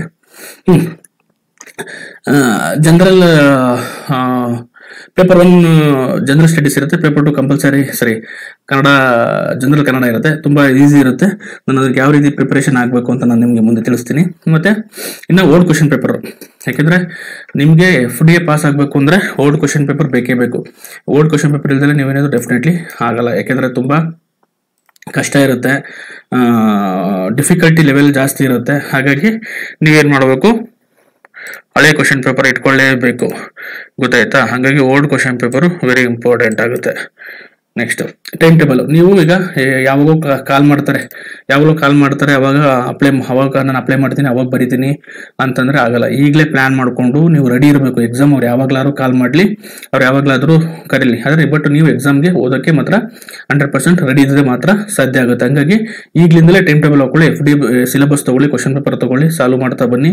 ಟೈಮ್ ಟೇಬಲ್ ಹಾಕೊಂಡು ಪ್ರಿಪೇರ್ ಆಗ್ತಾ ಬನ್ನಿ. ನೀವೇನಾದರೂ ನಾನು ಅವಾಗ ಎಕ್ಸಾಮ್ ಬಂದಮೇಲೆ ನಾನು ಬರಿತೀನಿ ಅವಾಗ ರೆಡಿ ಆಗ್ತೀನಿ ಅಂತಂದ್ರೆ ಆಲ್ಮೋಸ್ಟ್ ಅಲ್ಲಿ ಮನೇಲಿ ಕುತ್ಕೊಂಡು ಪ್ರಿಪರೇಷನ್ ಮಾಡೋರು, ಈಗ ಕೆಲವರು ಟೀಚರ್ಸ್ ಇರ್ತಾರೆ, ಕೆಲವರು ಪ್ರೈಮರಿ ಸ್ಕೂಲ್ ಟೀಚರ್ಸ್ಗಳು ಇರ್ತಾರೆ, ಕೆಲವರು ಈ ಪ್ರೈವೇಟ್ ಸ್ಕೂಲಲ್ಲಿ ಕೆಲಸ ಮಾಡ್ತಾರೆ ಅವ್ರು ಎಫ್ ಡಿ ಎ ಬರೀಬೇಕು ಅಂತ ತುಂಬಾ ಇದು ಮಾಡ್ತಿರ್ತಾರೆ. ಮನೇಲಿ ಮದುವೆ ಆಗಿರುತ್ತೆ, ಒಂದು ಎಫ್ ಡಿ ಆಗ್ಬಿಡೋಣ ಅಂತ ತುಂಬಾ ಟ್ರೈ ಮಾಡ್ತಿರ್ತಾರೆ.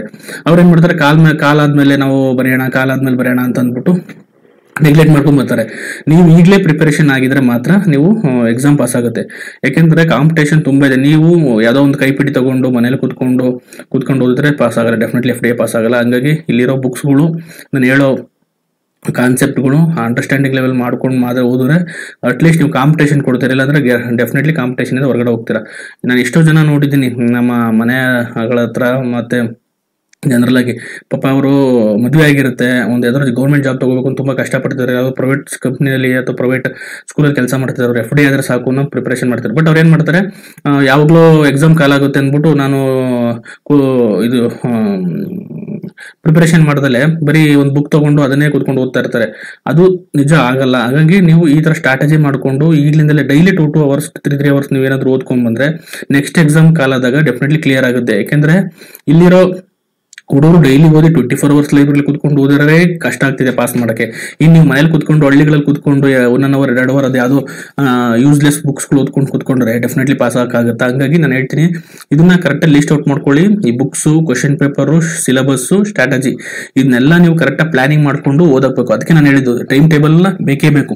ನೀವು ಟೈಮ್ ಟೇಬಲ್ ಇಲ್ದಲ್ಲ ನೀವು ಏನಾದರೂ ಓದಿದ್ರೆ ಡೆಫಿನೆಟ್ಲಿ ಪಾಸ್ ಆಗ್ತಾರೆ. ಮತ್ತೆ ರಿವಿಷನ್ ಇಸ್ ದ ಕೀ ಏನು ಮಾಡ್ತಾರೆ? ಓದ್ತಾರೆ ಸುಮ್ಮನೆ ಈ ಒಂದು ಒಂದ್ ಕಡೆಯಿಂದ ಓದ್ಕೊಂಡು ಹೋಗ್ತಾರೆ. ಬಟ್ ಅದನ್ನ ರಿವೈಸ್ ಮಾಡಲ್ಲ. ರಿವೈಸ್ ಮಾಡಲಿಲ್ಲ ಅಂತಂದ್ರೆ ನೀವು ಓದಿದ್ದು ಇವು ವ್ಯರ್ಥ ಆಗುತ್ತೆ. ಹಾಗಾಗಿ ರಿವೈಸ್ ಮಾಡ್ತಾ ಬನ್ನಿ. ಗೊತ್ತಾಯ್ತಾ? ಮತ್ತೆ strategy for perfect planning for execution strategy ಹೆಂಗ್ ಬರಬೇಕು ಅಂತಂದ್ರೆ, ಈಗ ನೋಡಿ ಪೇಪರ್ ಒನ್ ನಿಮಗೆ ಗೊತ್ತು ಪೇಪರ್ ಟೂ ಗೊತ್ತು. ಪೇಪರ್ ಒನ್ ಅಲ್ಲಿ ಜಿ ಎಸ್ ಬರುತ್ತೆ. ಅಂದ್ರೆ ಫಸ್ಟ್ ಪೇಪರ್ ಸಾರಿ ಇಲ್ಲಿ ಉಲ್ಟಾಗಿದೆ. ನಾನು ಮಿಸ್ ಮಾಡಿಕೊಂಡು ಪೇಸ್ಟ್ ಮಾಡ್ಬೇಕಾದ್ರೆ ಇಲ್ಲಾಗಿದೆ ನೋಡಿ, ಇದು ಜನರಲ್ ಕನ್ನಡ, ಇದು ಜನರಲ್ ಕನ್ನಡ ಅನ್ಕೊಳ್ಳಿ ಪ್ರಜ, ಪದಪ್ರಭುತ್ವ, ವ್ಯಾಕರಣ ಸಂಖ್ಯೆ, ರಚನೆ, ಪದಗಳ ರಚನೆ, ಪದಗಳ ಗ್ರಹಿಕೆ, ಕನ್ನಡ ಭಾಷೆ ಇತಿಹಾಸ.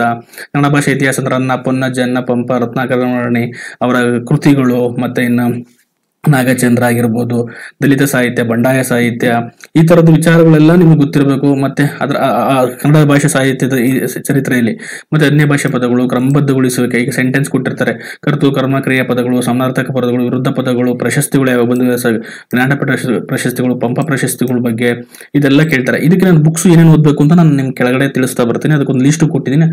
ಆ ಲಿಸ್ಟ್ನ ಕರೆಕ್ಟಾಗಿ ಫಾಲೋ ಅಪ್ ಮಾಡಿ ಅದೇ ಬುಕ್ಸ್ ಓದಿ. ಬೇರೆ ಏನು ಬುಕ್ಸ್ ಓದಕ್ಕೆ ಹೋಗ್ಬೇಡಿ. ಸುಮ್ಮನೆ ಅನ್ನೆಸೆಸರಿ ಮಾರ್ಕೆಟಲ್ಲಿ ಬರೋ ಎಲ್ಲ ಬುಕ್ಸ್ ತಗೊಂಡು, ಕನ್ನಡ ಬುಕ್ ತಗೊಂಡು ಯಾರ್ಯಾರು ಬರ್ದಿರ್ತಾರೆ, ಅದು ಎಲ್ಲ ಎಲ್ಲ ಎಲ್ಲ ಮೈಸೂರು ಯೂನಿವರ್ಸಿಟಿ ಕನ್ನಡ ಬುಕ್ ಇಂದ ಅಥವಾ ಕನ್ನಡ ಮಾಧ್ಯಮ ವ್ಯಾಕರಣದಿಂದ ಅಥವಾ ಕರ್ನಾಟಕ ವ್ಯಾಕರಣ ದರ್ಪಣದಿಂದ ಕಾಪಿ ಮಾಡಿ ತಂದ್ಬಿಟ್ಟು ಅವರೇ ಒಂದು ದೊಡ್ಡ ನಾನೇ ಬುಕ್ ಬರ್ದಿನ ತರ ಬಿಹೇವ್ ಮಾಡ್ತಾರೆ. ತಪ್ಪು ಅದು.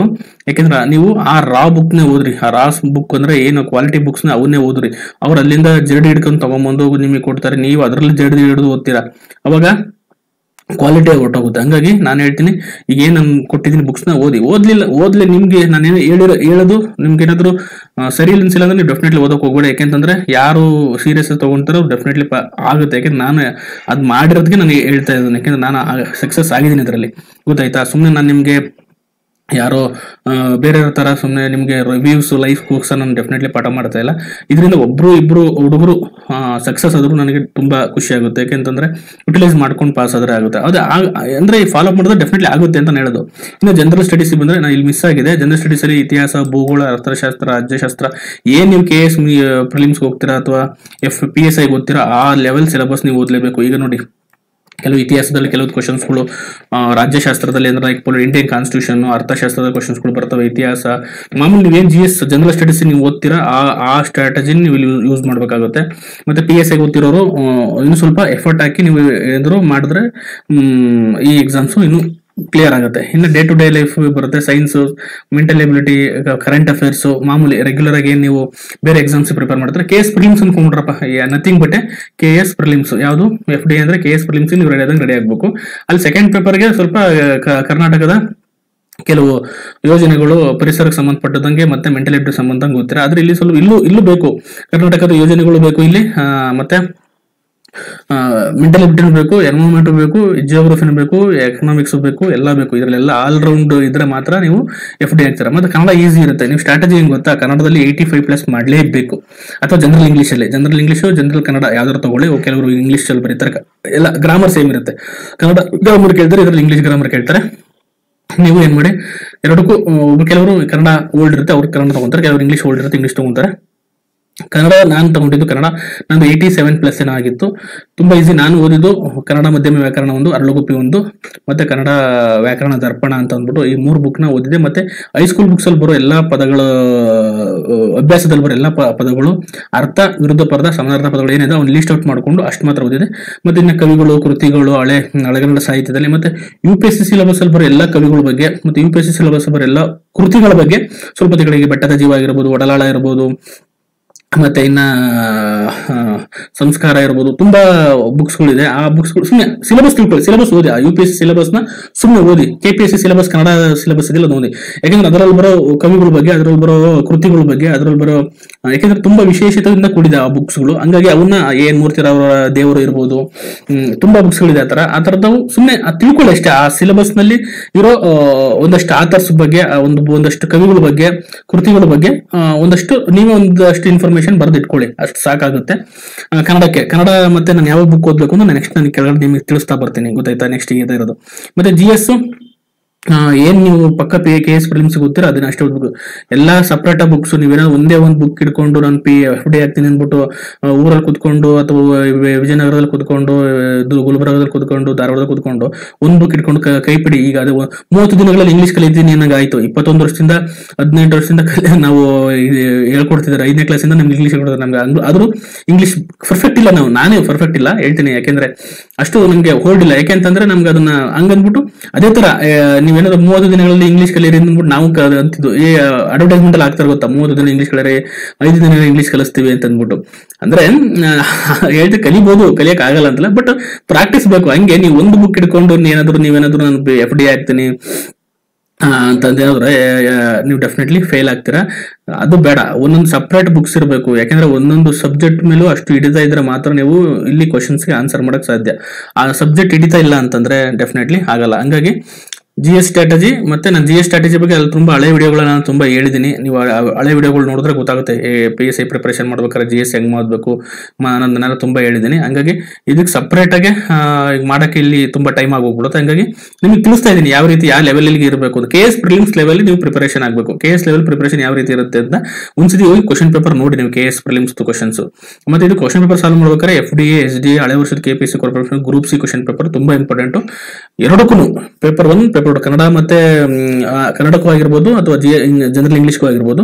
ಅಲ್ಲಿರೋ ಕ್ವಶನ್ಸ್ ಮತ್ತೆ ರಿಪಿಟೇಷನ್ ಆಗೋ ಚಾನ್ಸಸ್ ಇರುತ್ತೆ. ಹಂಗಾಗಿ ನೀವೇನು ಮಾಡ್ರಿ F D K S prelims questions ಹಳೆ F D S D questions papers ಮತ್ತೆ ಈಗ ನಡೆದ, ಇಲ್ಲಿವರೆಗೂ ನಡೆದಿರೋ ಗ್ರೂಪ್ ಸಿ ಎಕ್ಸಾಮ್ಸ್ ಕ್ವಶನ್ಸ್ಗಳು ಎಲ್ಲದೂ ಚೆನ್ನಾಗಿ ಬಿಡಿಸಿರ್ಬೇಕು question paper old question paper ಅವೇ ನಿಮಗೆ ಮಾರ್ಗದರ್ಶನ ಮಾಡ್ತವೆ ಕರೆಕ್ಟಾಗಿ ಮತ್ತೆ ನೋಡ್ರಪ್ಪ, ಇದು ಬುಕ್ಸ್ ಲಿಸ್ಟ್ ದಯವಿಟ್ಟು ಈ ನಾನು ಈ ಬುಕ್ ಲಿಸ್ಟ್ನ ಏನ್ ಮಾಡಿರ್ತೀನಿ, ನನ್ನ ಟೆಲಿಗ್ರಾಮ್ ಗ್ರೂಪ್ ಅಲ್ಲಿ ಹಾಕಿರ್ತೀನಿ. ನೀವು ಹೋಗಿ ಡೌನ್ಲೋಡ್ ಮಾಡ್ಕೊಳ್ಳಿ. ಎಫ್ ಡಿ ಇದು ಪಿ ಡಿ ಎಫ್ ಅಲ್ಲಿ ಇರುತ್ತೆ. ಅವನ್ನ ಅವನ್ನೇ ಕುತ್ಕೊಂಡು ಓದಿ. ಸುಮ್ಮನೆ ನನಗೆ ಮತ್ತೆ ಪದೇ ಪದೇ ಫೋನ್ ಮಾಡಿ, ಸರ್, ಆ ಬುಕ್ ಯಾವ ಬುಕ್ ಓದಿ, ಯಾವ ಬುಕ್ ಓದ್ಲಿ, ಯಾವ ಬುಕ್ ಓದ್ಲಿ ಅಂತ ಇದು F D A S T A K P C group C ವರ್ಗು ನಾನು ಮೆನ್ಷನ್ ಮಾಡಿದ್ದೀನಿ. ನೀವು ಇದನ್ನ ಕರೆಕ್ಟಾಗಿ ನೋಡ್ಕೊಂಡು ಎಲ್ಲಿ ಸಿಗುತ್ತೆ, ಏನ್ ಸಿಗುತ್ತೆ ನಾನು ಏನು ಕೇಳಬೇಡಿ. ಯಾಕೆಂದ್ರೆ ಮಾರ್ಕೆಟ್ ಅಲ್ಲಿ ಹುಡುಕ್ಬೇಕು. ನೀವು ಸರ್ಚ್ ಮಾಡಿದ್ರೆ ಮಾತ್ರ ಸಿಗುತ್ತೆ ಇವು ಬುಕ್ಸ್ಗಳು ಇದು ಇರ್ತವೆ. ಕೆಲವೊಂದು ಎಡಿಷನ್ ಮುಗಿದೋರ್ಬೋದು ಕೆಲವರು ಆನ್ಲೈನ್ ಸಿಗ್ತವೆ, ಕೆಲವರು ಆಫ್ಲೈನ್ ಕೆಲವರು ಏನು ಕ್ವಶನ್ಸ್ ಕೇಳ್ತಾರೆ ಸರ್, ಇದು ಆಫ್ಲೈನ್ ಸಿಗುತ್ತಾ? ನಿಮ್ಮ ಹತ್ರ ಇದೆಯಾ? ನಂಗೆ ಸೆಂಡ್ ಮಾಡಿ. ಪ್ಲೀಸ್ ದಯವಿಟ್ಟು ನನ್ನ ಕೈಲಿ ಯಾಕಂದ್ರೆ ಅದು ಮಾಡಕ್ಕಾಗಲ್ಲ. ಯಾಕಂದ್ರೆ ನಾನು ತುಂಬ ಕೆಲಸ ಮಾಡ್ಕೊಂಡು ಇದು ಮಾಡ್ತಾ ಇರೋದ್ರಿಂದ ನಾನು ನಿಮಗೆ ಎಲ್ಲಿ ಹುಡುಕಿ ಹುಡುಕಿ ಸೆಂಡ್ ಮಾಡೋಕ್ಕಾಗಲ್ಲ. ನೀವು ಹುಡುಕಿ ನಾನು ಇಂಟ್ ಕೊಡ್ಬೋದು ಅಷ್ಟೇ, ಎಲ್ಲಿದೆ ಅಂತ ಹೇಳ್ಬೋದು. ಅದನ್ನ ನೀವು ಹುಡುಕ, ಹುಡುಕ್, ಹುಡುಕ್ಬೇಕಾಗುತ್ತೆ. ಯಾಕಂದ್ರೆ ನೀವು ಅಷ್ಟು ಮಾಡಲಿಲ್ಲ ಅಂತಂದ್ರೆ ನೀವು ಡೈರೆಕ್ಟ್ ನನಗೆ ಕಾಂಟ್ಯಾಕ್ಟ್ ಮಾಡಿದ್ರೆ ತುಂಬಾ ಕಷ್ಟ. ಏನು, ನಿಮ್ಮ ಮೆಂಟಲಿ ಏನು ತುಂಬಾ ಕಷ್ಟ ಆಗ್ತಿದೆ ಸಬ್ಜೆಕ್ಟು ಇದು ಅರ್ಥ ಆಗ್ತಿಲ್ಲ. ಏನೋ ಡೌಟ್ಸ್ ಇದೆ, ನನಗೆ ಕ್ಲಾರಿಫಿಕೇಶನ್ ಬೇಕು ಅಂದಾಗ ನಾನು ಮಾತಾಡ್ಬೋದು ನಿಮ್ಮ ಹತ್ರ. ಅದ್ಬಿಟ್ಟು ಸಣ್ಣ ಪುಟ್ಟ ಅದಕ್ಕೆಲ್ಲ ನೀವು ಇದು ಮಾಡಬೇಡಿ. ಹಂಗಂತ ನಾನು ಆನ್ಸರ್ ಮಾಡಲ್ಲ ಅಂತಲ್ಲ ಟೈಮ್ ಸ್ವಲ್ಪ ಕಮ್ಮಿ ಇರೋದ್ರಿಂದ ದಯವಿಟ್ಟು ಬೇಜಾರು ಮಾಡ್ಕೋಬೇಡಿ. ಹಂಗಾಗಿ ನಾನು ಇಲ್ಲಿ ಗ್ರೂಪ್ ಎಲ್ಲ ಮೆನ್ಷನ್ ಮಾಡಿದ್ದೀನಿ ಈ ಬುಕ್ಸ್ಗಳು ನೀವು ಹಂಡ್ರೆಡ್ ಪರ್ಸೆಂಟ್ ಸಿಗುತ್ತೆ. ಎಲ್ಲ ಮಾರ್ಕೆಟಲ್ಲಿ ಸಿಗುತ್ತೆ. ಒಂದೆರಡು ಸಿಗ್ದಲ್ಲ ಸಿಗ್ದಲೇ ಇರ್ಬೋದು. ಎಲ್ಲ ಬುಕ್ಸ್ಗಳು ಸಿಗುತ್ತೆ. ಇವನು ಕರೆಕ್ಟಾಗಿ ತಗೊಂಡು ಎಫ್ ಡಿ ಎಗೆ ಗ್ರೂಪ್ ಸಿಗೆ ಮತ್ತೆ ಕೆ ಪಿ ಸಿ ಪ್ರಿಲಿಮ್ಸ್ಗೆ ಇಷ್ಟಕ್ಕೂ ನೀವು ಪ್ರಿಪೇರ್ ಆದಂಗಾಗುತ್ತೆ ಒಂದ್ಸತಿ ನೀವು ಇಷ್ಟು ಬುಕ್ಸ್ಗಳನ್ನ ಓದಿದ್ರೆ F D A S D A group C K P C prelims ಸ್ವಲ್ಪ ಇನ್ನೂ ಜಾಸ್ತಿ ಓದಬೇಕಾಗುತ್ತೆ. ಅಲ್ಲಿ ಪೇಪರ್ ಟು ಸ್ವಲ್ಪ ಯೋಜನೆಗಳ ಬಗ್ಗೆ ಎಲ್ಲ ಬರುತ್ತೆ. ಹಂಗಾಗಿ ಅಲ್ಲಿ- ಸ್ವಲ್ಪ ಇನ್ನೂ ಪ್ರಿಪರೇಷನ್ ಜಾಸ್ತಿ ಬೇಕಾಗುತ್ತೆ. ಅದು ಬಿಟ್ಟು ಕೆ ಪಿ ಸಿ ಪ್ರಿಲಿಮ್ಸ್ ಲೆವೆಲ್ಗೆ ನೀವು ಈ ಇಷ್ಟು ಬುಕ್ಸ್ ಓದಿದ್ರೆ ಹಂಡ್ರೆಡ್ ಪರ್ಸೆಂಟ್ ಎನಫ್ ಬೇರೆ ಬುಕ್ಸ್ ನಾನು ಇದು ಬಿಟ್ಟು ಬೇರೆ ಇನ್ನೇನು ಕೇಳ್ಬಿಟ್ರೆ ನನಗೆ. ಸರ್, ಆ ಬುಕ್ ಚೆನ್ನಾಗಿದೆ, ಈ ಬುಕ್ ಚೆನ್ನಾಗಿದೆಯಾ? ಚೆನ್ನಾಗಿದ್ರೆ ನೀವು ಓದ್ಕೊಳ್ಳಿ. ನಾನು ದಯವಿತ್ತು ಅದ್ರ ಬಗ್ಗೆ ನನ್ನ ಒಂದು ಅಬ್ಜೆಕ್ಷನ್ ಇಲ್ಲ. ನಾನು ಬುಕ್ಸ್ ಇದು. ಮತ್ತೆ ವೆರಿ ಇಂಪಾರ್ಟೆಂಟ್ ಬುಕ್ಸ್ಗಳು ನಾನು ನಿಮಗೆ ತೋರಿಸ್ತಾ ಇರೋದು.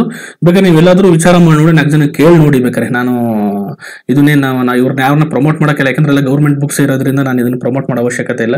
ಇದ್ರ ಕ್ವಾಲಿಟಿ ಏನಿದೆ ಅಂತ ನನಗೆ ಗೊತ್ತು ಯಾಕೆ ನಾನು ಓದಿರೋದ್ರಿಂದ ನನಗೆ ಗೊತ್ತಿದ್ರು ಕ್ವಾಲಿಟಿ ಏನಿದೆ ಅಂತ ಅಂದ್ಬಿಟ್ಟು ಓದಿದ್ರೆ, ಓದ್ರಿ. ಇಲ್ಲಾಂದ್ರೆ ನೀವು ಅದೇ ಒಂದು ದಿನದಲ್ಲಿ ಕೆ ಎಫ್ ಡಿ ಆಗಿನ ಬುಕ್ ತಗೊಂಡು ಓದಾಗಿದ್ರೆ ಓದ್ರೆ ನಿಮಗೆ ಬಿಟ್ಟಿದ್ದು ನಾನೇನು ಹೇಳಲ್ಲ.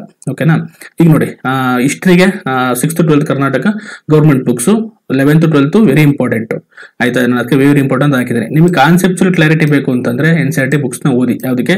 ಹಿಸ್ಟ್ರಿಗೆ ಮತ್ತೆ K N A R Sadashiva. K N A R Sadashiva ಅಂತ ಹೇಳಿ ನೀವು. ಕೆ ಎನ್ ಆರ್ ತಗೊಳ್ಳಿ ಸದಾಶಿವನಾರ ತಗೊಳ್ಳಿ. ನೀವು ಹಂಗಂದ್ಬಿಟ್ಟು ಸರ್ ಎರಡು ತಗೊಂತೀನಿ ಅಂದ್ರೆ ಇಷ್ಟ. ಎರಡು ತಗೊಳ್ಳಿ.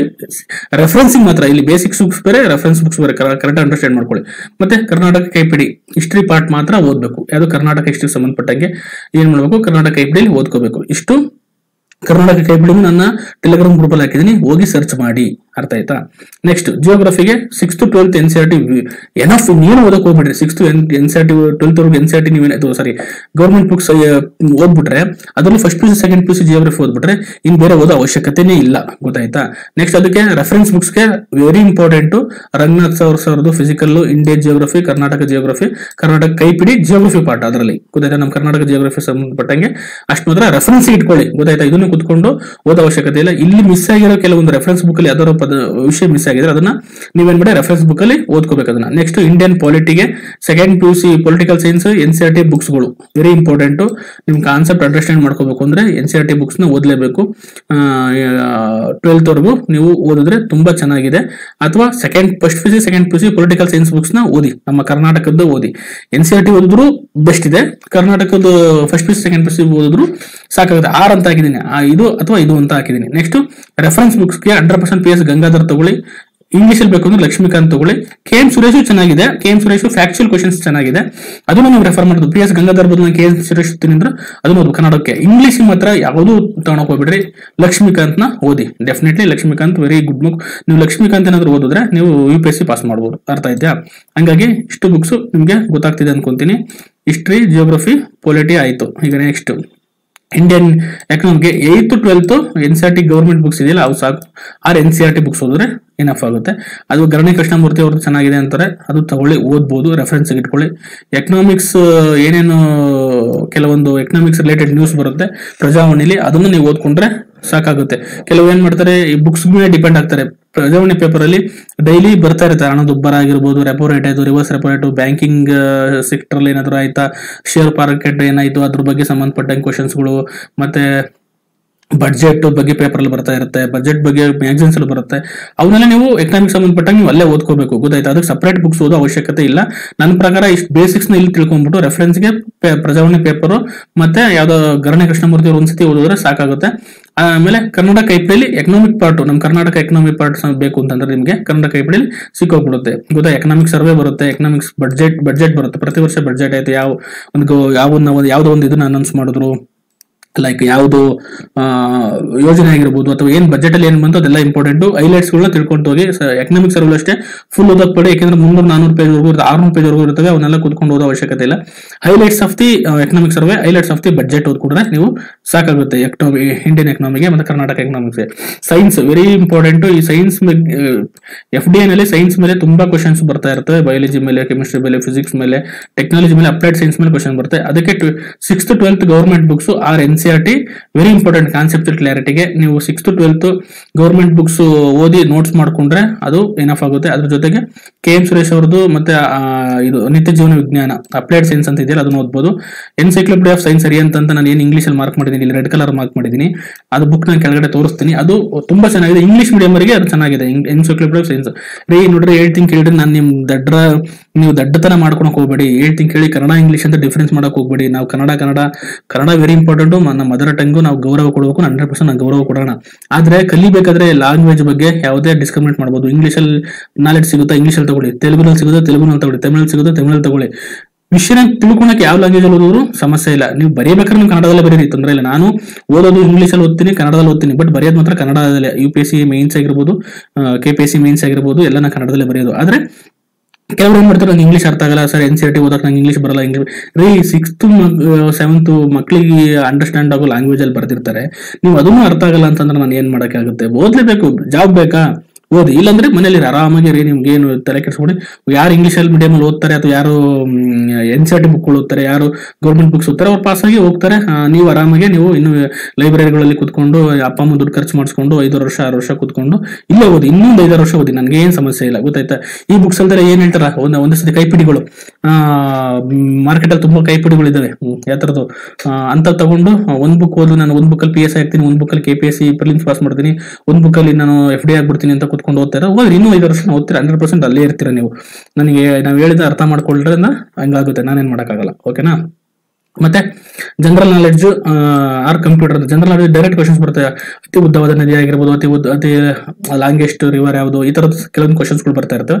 ಅದರಲ್ಲಿ ನಿಮಗೆ P S I K S you need more common sense ಅಂದ್ರೆ ಅಲ್ಲಿ ಫ್ಯಾಕ್ಚುಯಲ್ ಕ್ವಶನ್ಸ್ಗಿನ್ನ ನೀವು ಏನ್ ಮಾಡಬೇಕು? ಕೆ ಎಸ್ ಪ್ರಿಲಿಮ್ಸ್ ಅಲ್ಲಿ ಎಫ್ ಡಿ ನಲ್ಲಿ ನಿಮ್ಗೆ ಏನಾಗುತ್ತೆ ಕಾಮನ್ ಸೆನ್ಸ್ ಬೇಕು. ಕರೆಂಟ್ ಅಫೇರ್ಸ್ ನಿಮ್ ಸುತ್ತಮುತ್ತ ನಡೆಯೋ ಏನೇನು ಇರುತ್ತೆ, ಅದರಲ್ಲಿ ತುಂಬಾ ಕಾಮನ್ ಸೆನ್ಸ್ ಕೇಳ್ತಾರೆ. ಅದ್ರ ಮೇಲೆ ಕ್ವಶನ್ಸ್ ಕೊಡ್ತಾರೆ F D S D K P S C ಗ್ರೂಪ್ಸ್ನಲ್ಲಿ need more common sense comparatively P S I ಇಲ್ಲಿ ತುಂಬಾ ಕಾಮನ್ ಸೆನ್ಸ್ ಡೈರೆಕ್ಟ್ ಕ್ವಶನ್ಸ್ ಕೇಳ್ತಾರೆ.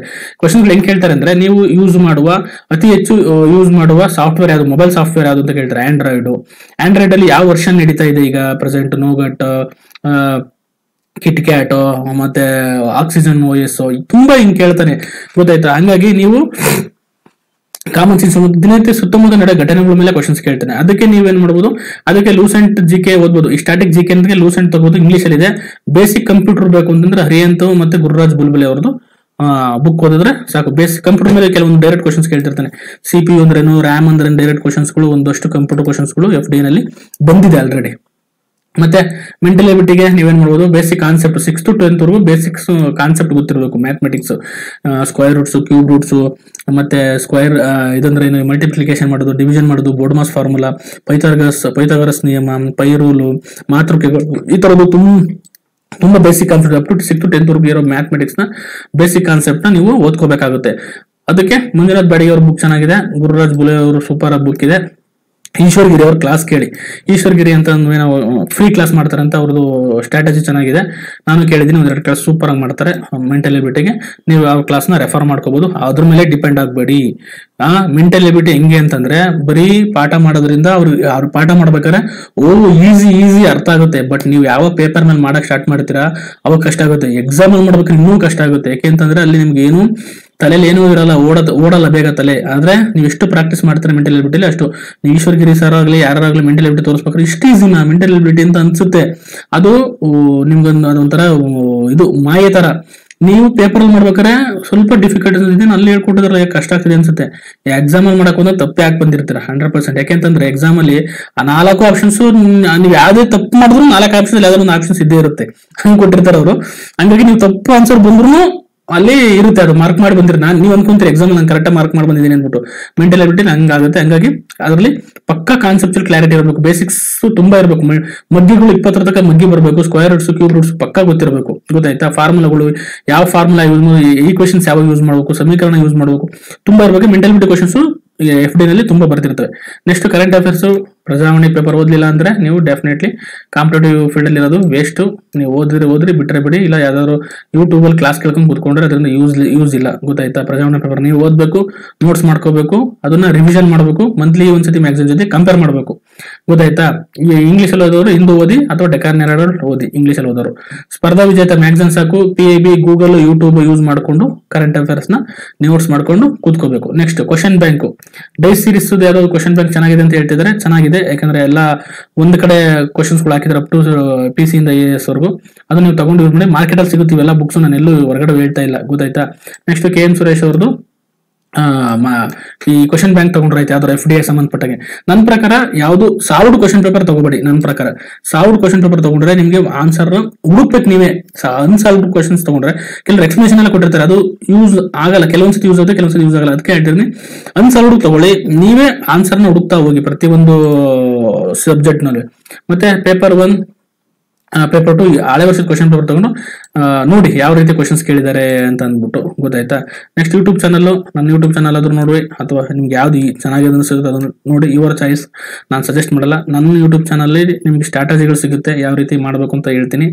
ಮತ್ತೆ ನನ್ನ ಟೆಲಿಗ್ರಾಮ್ ಗ್ರೂಪಲ್ಲಿ ಅಷ್ಟೇ ಪೇಪರ್ ಕಟಿಂಗ್ಸ್ ಏನೇನು ಹೈಲೈಟ್ಸ್ ಇರುತ್ತೆ.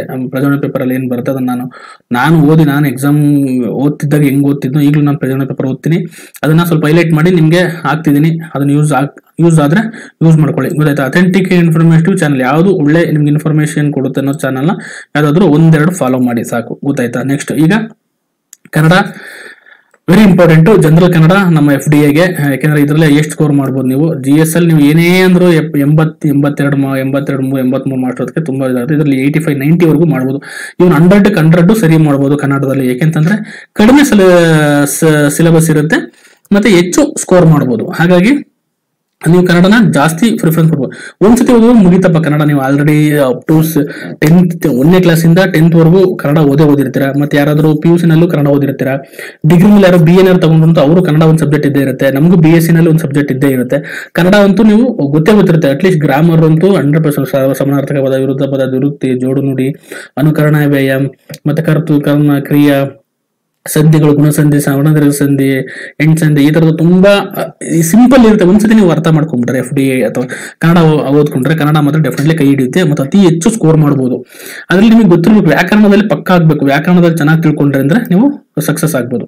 ಗೊತ್ತ? ಅದಕ್ಕೆ ತೀನಂ ಶ್ರೀಕಂಠಯ್ಯ ಅವರು ಕನ್ನಡ ಮಧ್ಯಮ ವ್ಯಾಕರಣ ಅಂತ ಇದೆ. ವೆರಿ ಇಂಪಾರ್ಟೆಂಟ್ ಬುಕ್ ಇದರಿಂದ ಕ್ವಶನ್ಸ್ ಆಲ್ರೆಡಿ ಬಂದೋಗಿದೆ. ನೆಕ್ಸ್ಟ್ ಕನ್ನಡ ವ್ಯಾಕರಣ ದರ್ಪಣ ಅಂತ ಮೈಸೂರು ಯೂನಿವರ್ಸಿಟಿ ಮೈಸೂರು ಸರ್ಕಾರದವರು ಪಬ್ಲಿಷ್ ಮಾಡೋ ನೈನ್ಟೀನ್ ಸೆವೆಂಟಿ ಟೂ ಅನ್ಸುತ್ತೆ. ನೈನ್ಟೀನ್ ಸೆವೆಂಟಿ ಟೂ ನಲ್ಲಿ ಈ ಸಿಕ್ಸ್ತ್ ಏಯ್ತ್ ನೈನ್ತ್ ಟೆಂತ್ ಹುಡುಗರಿಗೆ ವ್ಯಾಕರಣ ಕಲಿಸಬೇಕು ಅಂತ ಅಂದ್ಬಿಟ್ಟು ಬುಕ್ನ ಪ್ರಿಪೇರ್ ಮಾಡಿದ್ರು. ತುಂಬಾ ಒಳ್ಳೆ ಬುಕ್ ಒಂದು ಮುನ್ನೂರು ಪೇಜ್ ಇದೆ. ಅದರಲ್ಲಿ ಅದನ್ನ ಒಂದ್ಸತಿ ಓದ್ಬಿಟ್ರೆ ನೀವು ಹಂಡ್ರೆಡ್ ಪರ್ಸೆಂಟ್ ಅರಳು ಗುಪ್ಪಿನ ಯೂಸ್ ಮಾಡ್ಬೋದು. ಚೆನ್ನಾಗಿದೆ ಅರಳುಗುಪ್ಪಿ ನಾನು ಓದಿದ್ದೆ ಅರಳುಗುಪ್ಪಿ ಓದಿದೆ ಈ ಮೂರು ಬುಕ್ ಓದಿದೆ ನಾನು. ಟಿ ಅಂತ ಗಂಟೆಯ ಕನ್ನಡ ಮಾಧ್ಯಮ ವ್ಯಾಕರಣ ಅರಳಗುಪ್ಪಿ ಅವರು ನೀವು, ಸಾರ್, ಇಷ್ಟೊಂದು ಬುಕ್ ಎಲ್ಲ ಓದ್ಬೇಕಾ? ಅಂತ ಏನಾದ್ರು ನೀವೇನೋ ನನ್ನ ಕ್ವಶನ್ಸ್ ಕೇಳಿದ್ರೆ, ದಯವಿಟ್ಟು ಓದ್ಬೇಡ್ರಿ ಕಣ್ರಪ್ಪ. ಓದ್ಬೇಡ್ರಿ. ಆರಾಮಾಗಿ ನೀವು ಯಾವ ಯಾವ್ದು ಬುಕ್ ಓದಿದ್ರು ಅದೇ ಬುಕ್ ಓದಿ, ಒಂದೇ ಒಂದು ಬುಕ್ ಓದಿ, ನೀವು ಪಿ ಎಸ್ ಎಫ್ ಡಿ ಆಗಿ. ಯಾರು ಸೀರಿಯಸ್ ಆಗಿ ನೋಡ್ತಾ ಇದ್ದೀರಾ, ಯಾರು ಸೀರಿಯಸ್ನೆಸ್ ಇದ್ದೀರಾ ಎಫ್ ಡಿ ಆಗ್ಬೇಕು, ನನ್ ಎಸ್ ಡಿ ಆಗಬೇಕು ಅಂದಿದ್ರೆ ಈ ಬುಕ್ಸ್ನ ಫಾಲೋ ಅಪ್ ಮಾಡಿ ಹಂಡ್ರೆಡ್ ಪರ್ಸೆಂಟ್ ಮೂರಲ್ಲ ನಾಲ್ಕು ಆದ್ರೂ ಓದ್ಲೇಬೇಕು. ಯಾಕಂದ್ರೆ ಕಾಂಪಿಟೇಷನ್ ಎಷ್ಟಿದೆ, ನಿಮ್ಗೆ ಮಾರ್ಕ್ಸ್ ಬರ್ಬೇಕಾ, ಓದ್ಲೇಬೇಕು. ನಾನು, ಅದಕ್ಕೆ ನಾನು ಕೇಳ್ಬಿಡಿ. ಸರ್, ಇಷ್ಟೆಲ್ಲ ಜಾಸ್ತಿ ಆಗುತ್ತೆ ಜಾಸ್ತಿ ಅಂದ್ರೆ ಬಿಡಿ ಮನೇಲಿ ಆರಾಮಾಗೆ. ಗೊತ್ತಾಯ್ತಾ next two tenth government books ಅಲ್ಲಿ ಬರೋ ಓನ್ಲಿ ನಲ್ಲಿ ಬರೋ ಎಕ್ಸಾಂಪಲ್ಸ್ ಗಳನ್ನ ಓದ್ಕೊಳ್ಳಿ. ಅಭ್ಯಾಸ ಅಂತ ಬರುತ್ತೆ. ಅಭ್ಯಾಸದಲ್ಲಿ ಬರೋ ಕೆಲವೊಂದು ಪದಗಳು, ಅವನ್ನೇ ರಿಪಿಟೇಷನ್ ಮಾಡಿ ಎಷ್ಟೋ ಎಕ್ಸಾಮ್ಸ್ ಅಲ್ಲಿ ಕೇಳಿದ್ದಾರೆ. ಹಾಗಾಗಿ ಅದನ್ನ ಓದಿ. Next K S U P S C syllabus ನೋಡಿ ಒಂದ್ಸರಿ. ಸಿಲೆಬಸ್ ಜೆರಾಕ್ಸ್ ಮಾಡ್ಕೊಂಡು ತಗೊಂಡ್ಬಂದ್ಬಿಟ್ಟು ಅದರಲ್ಲಿ ನೋಡಿ ಯಾವ್ಯಾವ ಕವಿಗಳ ಬಗ್ಗೆ ಕೇಳಿದ್ದಾರೆ ಎಕ್ಸಾಮ್ಗೆ ಮತ್ತೆ ಅಥವಾ ಹಳ- ವರ್ಷದ ಕ್ವಶನ್ ಪೇಪರ್ ನೋಡಿದ್ರೆ ಗೊತ್ತಾಗ್ಬಿಡುತ್ತೆ. ಪಂಪ, ರನ್ನ, ಜನ್ನ, ರತ್ನಾಕರ, ವರ್ಣಿ ದೇವನ ಮಹಾದೇವ ಮೂರ್ತಿ ಮೂರ್ತಿರಾವ್, ಅನುಪಮ, ನಿರಂಜನ್ ಇವ್ರ ಬಗ್ಗೆ ಎಲ್ಲ ಒಂದಷ್ಟು ಅವ್ರ ಬುಕ್ಸ್ಗಳು ಇಂಪಾರ್ಟೆನ್ಸ್ ಬುಕ್ಸ್ಗಳನ್ನ ತಿಳ್ಕೊಳ್ಳಿ ಮತ್ತೆ ಕೆ ಎಂ ಸುರೇಶ್ ಅವರು ಕನ್ನಡ ಬುಕ್ಸ್ ಇದರಲ್ಲಿ ಕವಿಗಳು, ಕೃತಿಗಳು ಜ್ಞಾನಪೀಠ ಪ್ರಶಸ್ತಿ ಪಂಪ ಪ್ರಶಸ್ತಿ, ಕನ್ನಡದ ಮೊದಲ ಶಾಸನ, ಕನ್ನಡ ಗದ್ಯ ಶಾಸನ, ಕನ್ನಡದ ಮೊದಲ ನಾಟಕ ಈ ತರದ ತುಂಬಾ ಕೇಳಿರ್ತಾರೆ. ಆ ತರದ್ದು ಡೈರೆಕ್ಟ್ ಕ್ವಶನ್ಸ್ ಬರ್ತದೆ. ಎಫ್ ಡಿ ನಲ್ಲಿ ಕನ್ನಡದಲ್ಲಿ ಮಾತ್ರ ಡೈರೆಕ್ಟ್ ಕ್ವಶನ್ಸ್ ಇರುತ್ತೆ. ನೀವು ಏನದರಲ್ಲಿ ಅಪ್ಲಿಕೇಶನ್ಸ್ ಲೆವೆಲ್ ಏನಿರಲ್ಲ. ಮೆಮೊರಿ ಬೇಸ್ಡ್ ಕ್ವಶನ್ಸ್ ಜಾಸ್ತಿ ಕೇಳ್ತಾರೆ. ಹಂಗಾಗಿ ಕನ್ನಡ ಒಂದು ಎರಡು ಮೂರು ಸತಿ ರಿವಿಷನ್ ಮಾಡ್ಬಿಟ್ರೆ hundred percent eighty five ninety ನೀವು ಹಂಡ್ರೆಡ್ ಪರ್ಸೆಂಟ್ ಹೊಡಿಬೋದು ಅರ್ಥ ಆಯ್ತಾ? ನೆಕ್ಸ್ಟ್ ಇಂಗ್ಲಿಷ್ಗೆ ನಾನು ಹೇಳೋದು ರನಿ ನನ್ ಮಾರ್ಟಿನ್ ಅಂತ ಒಳ್ಳೆ ಇಂಗ್ಲಿಷ್ ಗ್ರಾಮರ್ ಬುಕ್ ಇದೆ. ಐ ಫೈ ಐ ಸ್ಟ್ಯಾಂಡರ್ಡ್ ಆಗಿದೆ. ಹಂಗಾಗಿ ನೀವು ಅದನ್ನ ಓದ್ಬೋದು. ಅಥವಾ ಅರಿಯಂತದ್ದು ಜನರಲ್ ಇಂಗ್ಲಿಷ್ ಅಂತ ಒಂದು ಅವೇರ್ನೆಸ್ ಅಂತ ಏನೋ ಬರುತ್ತೆ. ಅದನ್ನ ತಗೊಂಡು ಓದ್ಬೋದು. ಅಥವಾ ಸಿಕ್ಸ್ತ್ ಟೆಂತ್ ಇದು ರೆಫರೆನ್ಸ್ಗೆ ಟು ಟೆಂತ್ ವರೆಗೂ ಬರೋ ಬುಕ್ಸ್ ಅಲ್ಲಿ ಬರೋ ಪರಿವಿಡಿ ಅಥವಾ ಏನು ಅಭ್ಯಾಸ ಅಥವಾ ಎಕ್ಸರ್ಸೈಸ್ ಅಂತ ಕರಿತೀವಿ. ಅದನ್ನ ನೀವು ಓದಿದ್ರೆ ಸಾಕಾಗುತ್ತೆ. ನೆಕ್ಸ್ಟ್ ಕಂಪ್ಯೂಟರ್ಗೆ ಗುರುರಾಜ್ ಬುಲ್ಬುಲೆ, ಇದು ಗ್ರೂಪ್ಸಿಗೆ ಹರಿಯಂತು ಮತ್ತೆ ಇವರ ಮೊಬೈಲ್ ಲ್ಯಾಪ್ಟಾಪ್ಸ್ ನೀವು ಏನ್ ಯೂಸ್ ಮಾಡ್ತಾರೆ ಮೊಬೈಲು ಮತ್ತೆ ಗೂಗಲ್ ಯೂಟ್ಯೂಬ್ಸ್ ಇವೇ ನಿಮಗೆ ಸೋರ್ಸಸ್ ಆಗ್ಬೇಕು, ಗೊತ್ತಾಯ್ತಾ? ಇದು Kannada or general English F D ಎಗೆ ಇವು ಮೂರು ಸೇರಿದೆ ಗ್ರೂಪ್ ಸಿಗೆ ಇಷ್ಟೇ ವ್ಯತ್ಯಾಸ. ಗೊತ್ತಾಯ್ತಾ? ನೀವು ಎಫ್ ಡಿ ಎ ಓದ್ತೀರಾ ಅಂದ್ರೆ ಬರೀ ಜನರಲ್ ಕನ್ನಡ ಓದ್ತೀರಾ ಜನರಲ್ ಇಂಗ್ಲೀಷ್ ಓದ್ತೀರಾ? ನೀವು ಗ್ರೂಪ್ ಸಿ ಸೆಕೆಂಡ್ ಪೇಪರ್ ಓದ್ಬೇಕಾದ್ರೆ ಮೂರು ಓದಲೇಬೇಕಾಗುತ್ತೆ. ಕಂಪ್ಯೂಟರ್ ಕನ್ನಡ ಮತ್ತೆ ಇಂಗ್ಲಿಷ್ ಕಂಪಲ್ಸರಿ ಕನ್ನಡ ಬೇಕೇ ಬೇಕಾಗುತ್ತೆ ಈಗ. ಹಾಗಾಗಿ ನೀವು ಇಷ್ಟು ಬುಕ್ಸ್ನ ನೀವು ಒಂದ್ಸತಿ ಓದ್ಕೊಂಡ್ರೆ ಎಫ್ ಡಿ ಎ ರೆಡಿ ಆಗ್ಬೋದು F S D A ready ಆಗ್ಬೋದು ಗ್ರೂಪ್ ಸಿಗೆ ರೆಡಿ ಆಗ್ಬೋದು. ಅರ್ಥಾಯ್ತಾ ಇದು ಇಷ್ಟೆಲ್ಲ ಅರ್ಥ ಆಗಿದೆ ಅನ್ಕೊಂತೀನಿ. ವೆರಿ ಇಂಪಾರ್ಟೆಂಟ್ ಬುಕ್ಸ್ಗಳ ಲಿಸ್ಟ್ ನಾನು ಇಲ್ಲಿ ನಿಮ್ಗೆ ಹಾಕಿದ್ದೀನಿ. ಇದನ್ನ ನನ್ನ ಟೆಲಿಗ್ರಾಮ್ ಗ್ರೂಪಲ್ಲಿ ಅಪ್ಲೋಡ್ ಮಾಡಿರ್ತೀನಿ. ಹೋಗಿ ಡೌನ್ಲೋಡ್ ಮಾಡ್ಕೊಳ್ಳಿ. ಈಗ ಕೆಲವೊಂದು ಸೂಚನೆಗಳು. ಇಲ್ಲಿರೋ ಪುಸ್ತಕಗಳನ್ನು ಓದಿದ ಮಾತ್ರ ನೀವು ಎಫ್ ಡಿ ಆಗಲ್ಲ. ಇಲ್ಲೇ ಅರ್ಥ ಮಾಡ್ಕೊಂಡು ಕಾನ್ಸೆಪ್ಟ್ನ ತಿಳ್ಕೊಂಡು, ನೀವು ಹೆಂಗೆ ಅದನ್ನ ಎಕ್ಸಾಮ್ ಯೂಸ್ ಮಾಡ್ತೀರ ಅದ್ರ ಮೇಲೆ ನಿಮ್ಮ ನೌಕರಿ ಏನಾಗುತ್ತೆ? ನಿರ್ಧಾರ ಆಗುತ್ತೆ. ಪುಸ್ತಕಗಳ ಮೇಲೆ ಅವಲಂಬಿತರಾಗದೆ ನಿಮ್ಮ ಜ್ಞಾನದ ಮೇಲೆ ಬರುತ್ತೆ ನೀವು ಪುಸ್ತಕಗಳನ್ನ ಕಲೆಕ್ಟ್ ಮಾಡೋದು ನಿಮ್ಮ ಜ್ಞಾನ ಕಲೆಕ್ಟ್ ಮಾಡಿ ಎಕ್ಸಾಮ್ ಅಲ್ಲಿ ಹೆಂಗ್ ಕ್ವಶನ್ಸ್ ಕೇಳ್ತಾರೆ, ನಂಗೆ ಹೆಂಗ್ ಹೆಂಗ್ ಆನ್ಸರ್ ಮಾಡ್ಬೇಕು ಅನ್ನೋದನ್ನ ನೀವು ತಿಳ್ಕೊಳ್ಳಿ. ಮತ್ತೆ ನೀವು ಎಷ್ಟು ಹೆಚ್ಚು ಓದ್ತಾ ಓದಂಗೆ ಈ ಕನ್ನಡ ಕನ್ನಡ ಮಾಧ್ಯಮ ವ್ಯಾಕರಣ, ಕನ್ನಡ ದರ್ಪಣ, ಮತ್ತೆ ಅರಳುಗುಪ್ಪಿ ಬುಕ್ ಓದ್ಬಿಟ್ರೆ ನೀವು ಕನ್ನಡ ಪರ್ಫೆಕ್ಟ್ ಆಗಿ ಹೋಗ್ಬಿಡ್ತೀರಾ. ಅದನ್ನ ಮತ್ತೆ ರಿವಿಷನ್ ರಿವಿಷನ್ ಮಾಡಿ ನೋಟ್ಸ್ ಮಾಡಿ ಇಟ್ಕೊಂಡ್ಬಿಟ್ಟು ರಿವಿಷನ್ ರಿವಿಷನ್ ಮಾಡಿ. ಯಾಕಂದ್ರೆ ಒಂದ್ಸತಿ ಸಂಧಿ ಅಂತ ತಿಳ್ಕೊಂಡ್ಬಿಟ್ರೆ ಸಂಧಿ ಅಂದ್ರೆ ಏನು ನಾನು ವಿಚಾರ ನಿಮ್ಗೆ ಅದೇನು ಸಂಧಿ ಅಂತ ಡೈರೆಕ್ಟ್ ಆಗಿ ಏನೊಂದು ಕೇಳಲ್ಲ. ಕೊಡ್ಬಿಟ್ಟಿದ್ದಾರೆ ಗುಣಸಂಧಿ, ಕನ್ನಡ ಹಳೆಗನ್ನಡ ಹಳೆ ಪ್ಲಸ್ ಕನ್ನಡ ಹಳೆಗನ್ನಡ ಯಾವ ಸಂಧಿ ಅಂತ ಕೇಳ್ಬಿಡ್ತಾರೆ. ಗೊತ್ತಾಯ್ತಾ? ಈ ತರ ಪದಗಳು ಕೇಳ್ತಾರೆ. ಹರಿ ಸಮಾಸ ಅಂದ್ರೆ ಎಕ್ಸಾಂಪಲ್ ಹೇಳಿ ಅಂತ ಹೇಳ್ತಾರೆ. ಈ ತರದವು ಅಲ್ಲಿ ಡೆಫಿನೇಷನ್ ಬೇಕಿಲ್ಲ ನಿಮ್ಗೆ. ಸಮಾಸ ಅಂದ್ರೆ ಹರಿ ಸಮಾಸ ಅಂದ್ರೆ ಏನು ಜೋಡುಂಡಿ ಅಂದ್ರೆ ಏನು ಕೇಳಲ್ಲ. ಬಟ್ ಎಕ್ಸಾಂಪಲ್ಸ್ ಕೊಟ್ಬಿಟ್ಟು ಇದ್ರ ಜೋಡುಂಡಿ ಯಾವುದು? ಅನುಕರಣ ಯಾವುದು? ಮತ್ತೆ ಸಂಧಿ ಯಾವುದು? ಮತ್ತೆ ಕರ್ತು ಕ- ಕ್ರಿಯೆ ಯಾವುದು ಕರ್ಮ ಯಾವುದು, ಈ ತರ ಕ್ವಶನ್ಸ್ ಕೂಡ ಕೇಳ್ತಾವೆ. ಹಂಗಾಗಿ ಅಲ್ಲಿನ ಕಾನ್ಸೆಪ್ಟ್ನ ಅರ್ಥ ಮಾಡ್ಕೊಂಡು ಎಕ್ಸಾಂಪಲ್ಸ್ನ ಗೊತ್ತಿರ್ಬೇಕು ನೀವು. ಎಕ್ಸಾಂಪಲ್ಸ್ ಕೇಳಿ ಕಾನ್ಸೆಪ್ಟ್ ಕೇಳ್ಬೋದು ಕಾನ್ಸೆಪ್ಟ್ ಕೇಳಿ ಎಕ್ಸಾಂಪಲ್ ಕೇಳ್ಬೋದು. ಓಕೆನಾ ಒಂದೇ ಒಂದು ಪುಸ್ತಕದಿಂದ ನೀವು ಯಾರು ಕೆಲಸ ಪಡೆಯಲು ಎಫ್ ಡಿ ಆಗಲು ಪಿ ಎಸ್ ಆಗಲು ಕೆ ಎಸ್ ಪಾಸ್ ಮಾಡಲು ಸಾಧ್ಯ ಇಲ್ಲ. ಮತ್ತೆ ಅವುಗಳನ್ನು ಇಲ್ಲಿರೋ ಪುಸ್ತಕಗಳನ್ನು ಓದಿ ಪುನರ್ಮನನ ಮಾಡಬೇಕು ರಿವಿಷನ್ ಮಾಡಬೇಕು. ನೀವು ಎಷ್ಟು ರಿವಿಷನ್ ಮಾಡ್ತೀರಾ ಅಷ್ಟು ನೀವು ಎಕ್ಸಾಮ್ ಅಲ್ಲಿ ಸಕ್ಸಸ್ ಆಗ್ತೀರಾ. ಗೊತ್ತಾಯ್ತಾ? ಆಮೇಲೆ ಪರೀಕ್ಷೆಯಲ್ಲಿ ಕೇಳೋ ಪ್ರಶ್ನೆಗಳಿಗೆ ಸರಿಯಾಗಿ ಉತ್ತರ ಮಾಡಬೇಕು. ಅಂದ್ರೆ ನೀವು ಏನ್ ಕರೆಕ್ಟ್ ಪುನರ್ಮನ ಮಾಡಿ ಕಾನ್ಸೆಪ್ಟ್ ಅರ್ಥ ಮಾಡ್ಕೊಂಡು ಅಲ್ಲಿ ಕನ್ಫ್ಯೂಷನ್ ಆಗ್ದಲೆ ಎಕ್ಸಾಮ್ ಅಲ್ಲಿ ಕರೆಕ್ಟ್ ಆಗಿ ಆನ್ಸರ್ ಮಾಡಿದ್ರೆ ಮಾತ್ರ ಇರುತ್ತೆ. ಅದು ನೀವು ಒಂದು ಕರೆಕ್ಟ್ ಆಗಿ ಆನ್ಸರ್ ಮಾಡಬೇಕು ಅಂದ್ರೆ ಕಾನ್ಸೆಪ್ಟಲ್ ಕ್ಲಾರಿಟಿ ಇರಬೇಕು ನಿಮ್ಮಲ್ಲಿ. ಕಾನ್ಸೆಪ್ಟಲ್ ಕ್ಲಾರಿಟಿ ಇಲ್ಲ ಅಂತಂದ್ರೆ ಡೆಫಿನೆಟ್ಲಿ ಆಗಲ್ಲ. ರೆಫರೆನ್ಸ್ ಪುಸ್ತಕಗಳು ಮತ್ತೆ ಬೇಸಿಕ್ ಪುಸ್ತಕಗಳನ್ನ ಫಸ್ಟ್ ಬೇಸಿಕ್ ಪುಸ್ತಕಗಳನ್ನ ಓದಿ ರೆಫರೆನ್ಸ್ ಬುಕ್ಸ್ಗಳನ್ನ ಓದಿ. ಯಾಕಂದ್ರೆ ಬೇಸಿಕ್ ನಿಮ್ಗೆ ಒಂದು ತಳವಿ ಹಾಕೊಡುತ್ತೆ ಮುಂದೆ ಓದಕ್ಕೆ ಅನ್ನೋದನ್ನ ಮತ್ತೆ ಅದ್ರ ಮೇಲೆ ನೀವು ರೆಫರೆನ್ಸ್ ಬುಕ್ಸ್ನ ನೀವು ಓದ್ಬೇಕಾದ್ರೆ ಚೆನ್ನಾಗಿ ಅರ್ಥ ಮಾಡ್ಕೋಬಹುದು ಓಕೆನಾ ನೆಕ್ಸ್ಟ್ ಯಾವ ಪುಸ್ತಕ ಅಂತ ನಾನು ಇಲ್ಲಿ ನಿಮ್ಗೆ ಹಾಕಿದ್ದೀನಿ ನೋಡಿ. ನೋಡ್ಕೊಳ್ಳಿ ಒಂದ್ಸತಿ ಕರೆಕ್ಟಾಗಿ ಇದು ಕನ್ನಡ ಮಾಧ್ಯಮ ವ್ಯಾಕರಣ, ತೀನಂ ಶ್ರೀಕಂಠಯ್ಯನವರು ಸಾಹಿತಿಗಳು ಮತ್ತೆ ಇವರು ತುಂಬಾ ವ್ಯಾಕರಣದ ಬಗ್ಗೆ ರಿಸರ್ಚ್ ಮಾಡಿದರೆ ಒಳ್ಳೆ book Geetha book house publish ಮಾಡಿದ್ರೆ ಮಾರ್ಕೆಟ್ ಅಲ್ಲಿ ಸಿಗುತ್ತೆ. ಇದು ಒಂದು ಒಳ್ಳೆ ಬೆಸ್ಟ್ ಬುಕ್ ಮತ್ತೆ ಅರಳುಗುಪ್ಪಿ ಅವ್ರದ್ದು ಒಂದು ಬೆಸ್ಟ್ ಬುಕ್ ಕನ್ನಡಕ್ಕೆ ಕನ್ನಡ ವ್ಯಾಕರಣ ದರ್ಪಣ ಅಂತ ಹೇಳಿದ್ನಲ್ಲ, ಇದೇ ಕನ್ನಡ ವ್ಯಾಕರಣ ದರ್ಪಣ ಅಂತ. ನನ್ನ ಟೆಲಿಗ್ರಾಮ್ ಗ್ರೂಪ್ ಅಲ್ಲಿ ಈ ಬುಕ್ನ ನಾನು ಅಪ್ಲೋಡ್ ಮಾಡಿ ಇದು ಸಿಕ್ ಮಾರ್ಕೆಟ್ ಅಲ್ಲಿ ಸಿಕ್ತಿಲ್ಲ ಈಗ. ನಾನು ಟೆಲಿಗ್ರಾಮ್ ಗ್ರೂಪ್ ಅಲ್ಲಿ ಅಪ್ಲೋಡ್ ಮಾಡಿದ್ದೀನಿ. ಅದನ್ನ ಡೆಫಿನೆಟ್ ಡೌನ್ಲೋಡ್ ಮಾಡ್ಕೊಳ್ಳಿ. ಮತ್ತೆ ಕೇಳ್ಬಿಡಿ ಎಲ್ಲಿ ಸಿಗುತ್ತೆ? ಸರ್ ಮಾರ್ಕೆಟ್ ಅಲ್ಲಿ ಸಿಗುತ್ತೆ? ಗುಲ್ಬರ್ಗ ಸಿಗುತ್ತೆ? ಧಾರವಾಡದಲ್ಲಿ ಸಿಗುತ್ತೆ? ಬೆಂಗಳೂರಲ್ಲಿ ಸಿಗುತ್ತೆ? ಅಂತ ಕೇಳ್ಬಿಡಿ ದಯವಿಟ್ಟು. ಇದನ್ನ ಟೆಲಿಗ್ರಾಮ್ ಗ್ರೂಪ್ ಆಗಿದೆ. ಇವೆಲ್ಲ ಮಾರ್ಕೆಟ್ ಅಲ್ಲಿ ಸಿಗ್ತವೆ. ಕನ್ನಡ ಮಾಧ್ಯಮ ವ್ಯಾಕರಣ, ಅರಳುಗುಪ್ಪಿ ಅವ್ರದ್ದು ಮಾರ್ಕೆಟ್ ಅಲ್ಲಿ ಸಿಗುತ್ತೆ. ಇನ್ನ ಲೇಮ್ ಮಾರ್ಟಿನು ಇದು ಮಾರ್ಕೆಟ್ ಅಲ್ಲಿ ಸಿಗುತ್ತೆ ಇಂಗ್ಲಿಷ್ಗೆ. ಮತ್ತೆ ಹರಿ ಅಂತವ್ರದ್ದು ಇಂಗ್ಲಿಷ್ ಗ್ರಾಮರ್ ಅಂಡ್ ಕಾಂಪಿಟೇಷನ್ ಅಂತ ಹೇಳಿದ್ನಲ್ಲ, ಹರಿ ಅಂತವ್ರದ್ದು ಇದು ಚೆನ್ನಾಗಿದೆ. ಇವೆರಡು ಬುಕ್ ಸಾಕು ನಿಮ್ಗೆ ಇದಕ್ಕೆ ಇಂಗ್ಲಿಷ್ಗೆ. ಒಂದು ಗ್ರೂಪ್ಸಿಗೂ ಇದನ್ನ ಯೂಸ್ ಮಾಡಬಹುದು ಗ್ರೂಪ್ಸಿಗೆ ನೆಕ್ಸ್ಟ್ ಕಂಪ್ಯೂಟರ್ಗೆ ಅಂತ ಅವ್ರದ್ದು computer awareness very important book ಇದರಲ್ಲಿ ತುಂಬಾ ಕ್ವಶನ್ಸ್ ಬರ್ತವೆ. ಒಳ್ಳೆ ಕಾನ್ಸೆಪ್ಚುಲ್ ಕ್ಲಾರಿಟಿ ಇರುತ್ತೆ. ಅದ್ರ ಜೊತೆಗೆ ನಮ್ಮ ಬುಲ್ ಬುಲ್ ಗುರುರಾಜ್ ಬುಲ್ ಅವರದ್ದು ಬುಕ್ ಚೆನ್ನಾಗಿದೆ. ಈ ಬುಕ್ ನೀವು ಏನ್ ಮಾಡೋದು ರೆಫರ್ ಮಾಡೋದು. ಕನ್ನಡ ಮೀಡಿಯಂ ಇದು ಇಂಗ್ಲಿಷ್ ಮೀಡಿಯಂ ಇದು. ನೀವು English medium Kannada medium difference ಮಾಡ್ಬಿಟ್ರೆ ಎರಡೂ ಬುಕ್ ಓದ್ರಿ ನೋಟ್ಸ್ ಮಾಡಿ ಇಟ್ಕೊಂಡು ನೋಟ್ಸ್ ಮಾಡೋ ಅವಶ್ಯಕತೆ ಇಲ್ಲ. ಕಂಪ್ಯೂಟರ್ಗೆ ನೋಟ್ಸ್ ಮಾಡ್ಕೊಳ್ಳೋ ಅವಶ್ಯಕತೆ ಇಲ್ಲ. ಈ ಬುಕ್ಸ್ ಸಿಂಪಲ್ ಇದೆ. ತುಂಬಾ ಚಿಕ್ಕ ಬುಕ್ ಅದು ಬುಕ್ಸ್ ತೋರಿಸ್ತಾ ಇದ್ದೇನೆ ಮತ್ತೆ ಇಲ್ಲಿ ಓಕೆ ಇದು ನೋಡಿ ಗೂಗಲ್ ಮಾಡಿ ಸಿಗುತ್ತೆ ಇದರಲ್ಲ ಅಮೆಝಾನ್ ಅಲ್ಲೆಲ್ಲ ನಿಮಗೆ ಮತ್ತೆ ಇದು ಇದು ಸಿಗುತ್ತೆ. ಮತ್ತೆ ನಾನು ಹೇಳಿದ ಜನರಲ್ ಸೈನ್ಸ್ ಇಂಗ್ಲಿಷ್ ಮೀಡಿಯಂ ಅವರಿಗೆ ಎನ್ಸೋಕ್ಲೋಪಿವ್ ಸೈನ್ಸ್ ಜನರಲ್ ಸೈನ್ಸ್ ಅಂತ. ಇದರಲ್ಲಿ ಕಾನ್ಸೆಪ್ಟ್ ಬೇಸ್ ಕಾನ್ಸೆಪ್ಟ್ ಮತ್ತೆ ಅಪ್ಲಿಕೇಶನ್ಸ್ ತುಂಬಾ ಚೆನ್ನಾಗಿ ಕೊಟ್ಟಿದ್ದಾರೆ. ಅದಕ್ಕೆ ನಾನು ರೆಫರ್ ಮಾಡಿ ಅಂತ ಹೇಳ್ತೀನಿ. ಇವನ್ ಯಾರಿಗೆ ಸ್ವಲ್ಪ ಇಂಗ್ಲಿಷ್ ಬರುತ್ತೆ, ಅದನ್ನ ಓದಿ ದಯವಿಟ್ಟು. ಯಾಕೆಂದ್ರೆ ತುಂಬಾ ವೆರಿ ಇಂಪಾರ್ಟೆಂಟ್ ಬುಕ್ ಅದು. ಅರ್ಥ ಆಯ್ತಾ? ನೆಕ್ಸ್ಟ್ ಬುಕ್ಸ್ ಬಗ್ಗೆ ನೀವು ತಿಳ್ಕೊಡ್ರಿ ಮತ್ತೆ ನೀವು ನನ್ನ ಎರಡು ಮಾತುಗಳು ಲಾಸ್ಟ್ ಎರಡು ಮಾತು ಹೇಳ್ತೀನಿ, ಕೇಳ್ಕೊಳ್ರಪ್ಪ. ಕೆ ಎಸ್ ಲೆವೆಲ್ ನೀವು ಪ್ರಿಪೇರ್ ಮಾಡಿದ್ರೆ ಮಾತ್ರ ಎಫ್ ಡಿ ಆಗಕ್ಕೆ ಸಾಧ್ಯ. ಎಫ್ ಡಿ ಎಗೆ ನೀವು ತುಂಬಾ ಕಾಂಪಿಟೇಷನ್ ಇರುತ್ತೆ, ಎಲ್ಲ ಕ್ಯಾಟಗರಿ ಎಕ್ಸಾಮ್ಸ್ ಬರೀತಾರೆ, ತುಂಬಾ ಕಾಂಪಿಟೇಷನ್ ಇರುತ್ತೆ. ಅಪ್ಲಿಕೇಶನ್ ಜಾಸ್ತಿ ಬೀಳ್ತವೆ, ಯಾರು ಸೀರಿಯಸ್ ಕ್ಯಾಂಡಿಡೇಟ್ಸ್ ಇರೋದು ಮಾತ್ರ ಅವ್ರು ಮಾತ್ರ ಪಾಸ್ ಆಗ ಸಾಧ್ಯ. ಮತ್ತೆ ಫ್ಯಾಕ್ಚುಯಲ್ ರೀತಿ ಓದ್ಬೇಡಿ ಡೈರೆಕ್ಟ್ ಕ್ವಶನ್ಸ್ ಯಾವುದೇ ಎಫ್ ಡಿ ಎಲ್ಲಿ ಬರಲ್ಲ. ಅಂಡರ್ಸ್ಟ್ಯಾಂಡ್ ಮಾಡಿಕೊಂಡು ಅಪ್ಲಿಕೇಶನ್ಸ್ ಲೆವೆಲ್ ನೀವು ಏನಾದರೂ ಓದಿದ್ರೆ ಮಾತ್ರ ಎಕ್ಸಾಮ್ ಅಲ್ಲಿ ಪಾಸ್ ಆಗ್ತೀರಾ. ಕೈಪಿಡಿಗಳು ಹ್ಯಾಂಡ್ ಬುಕ್ ಒಂದು ಪುಸ್ತಕದಿಂದ ಎಫ್ ಡಿ ಆಗಲ್ಲ.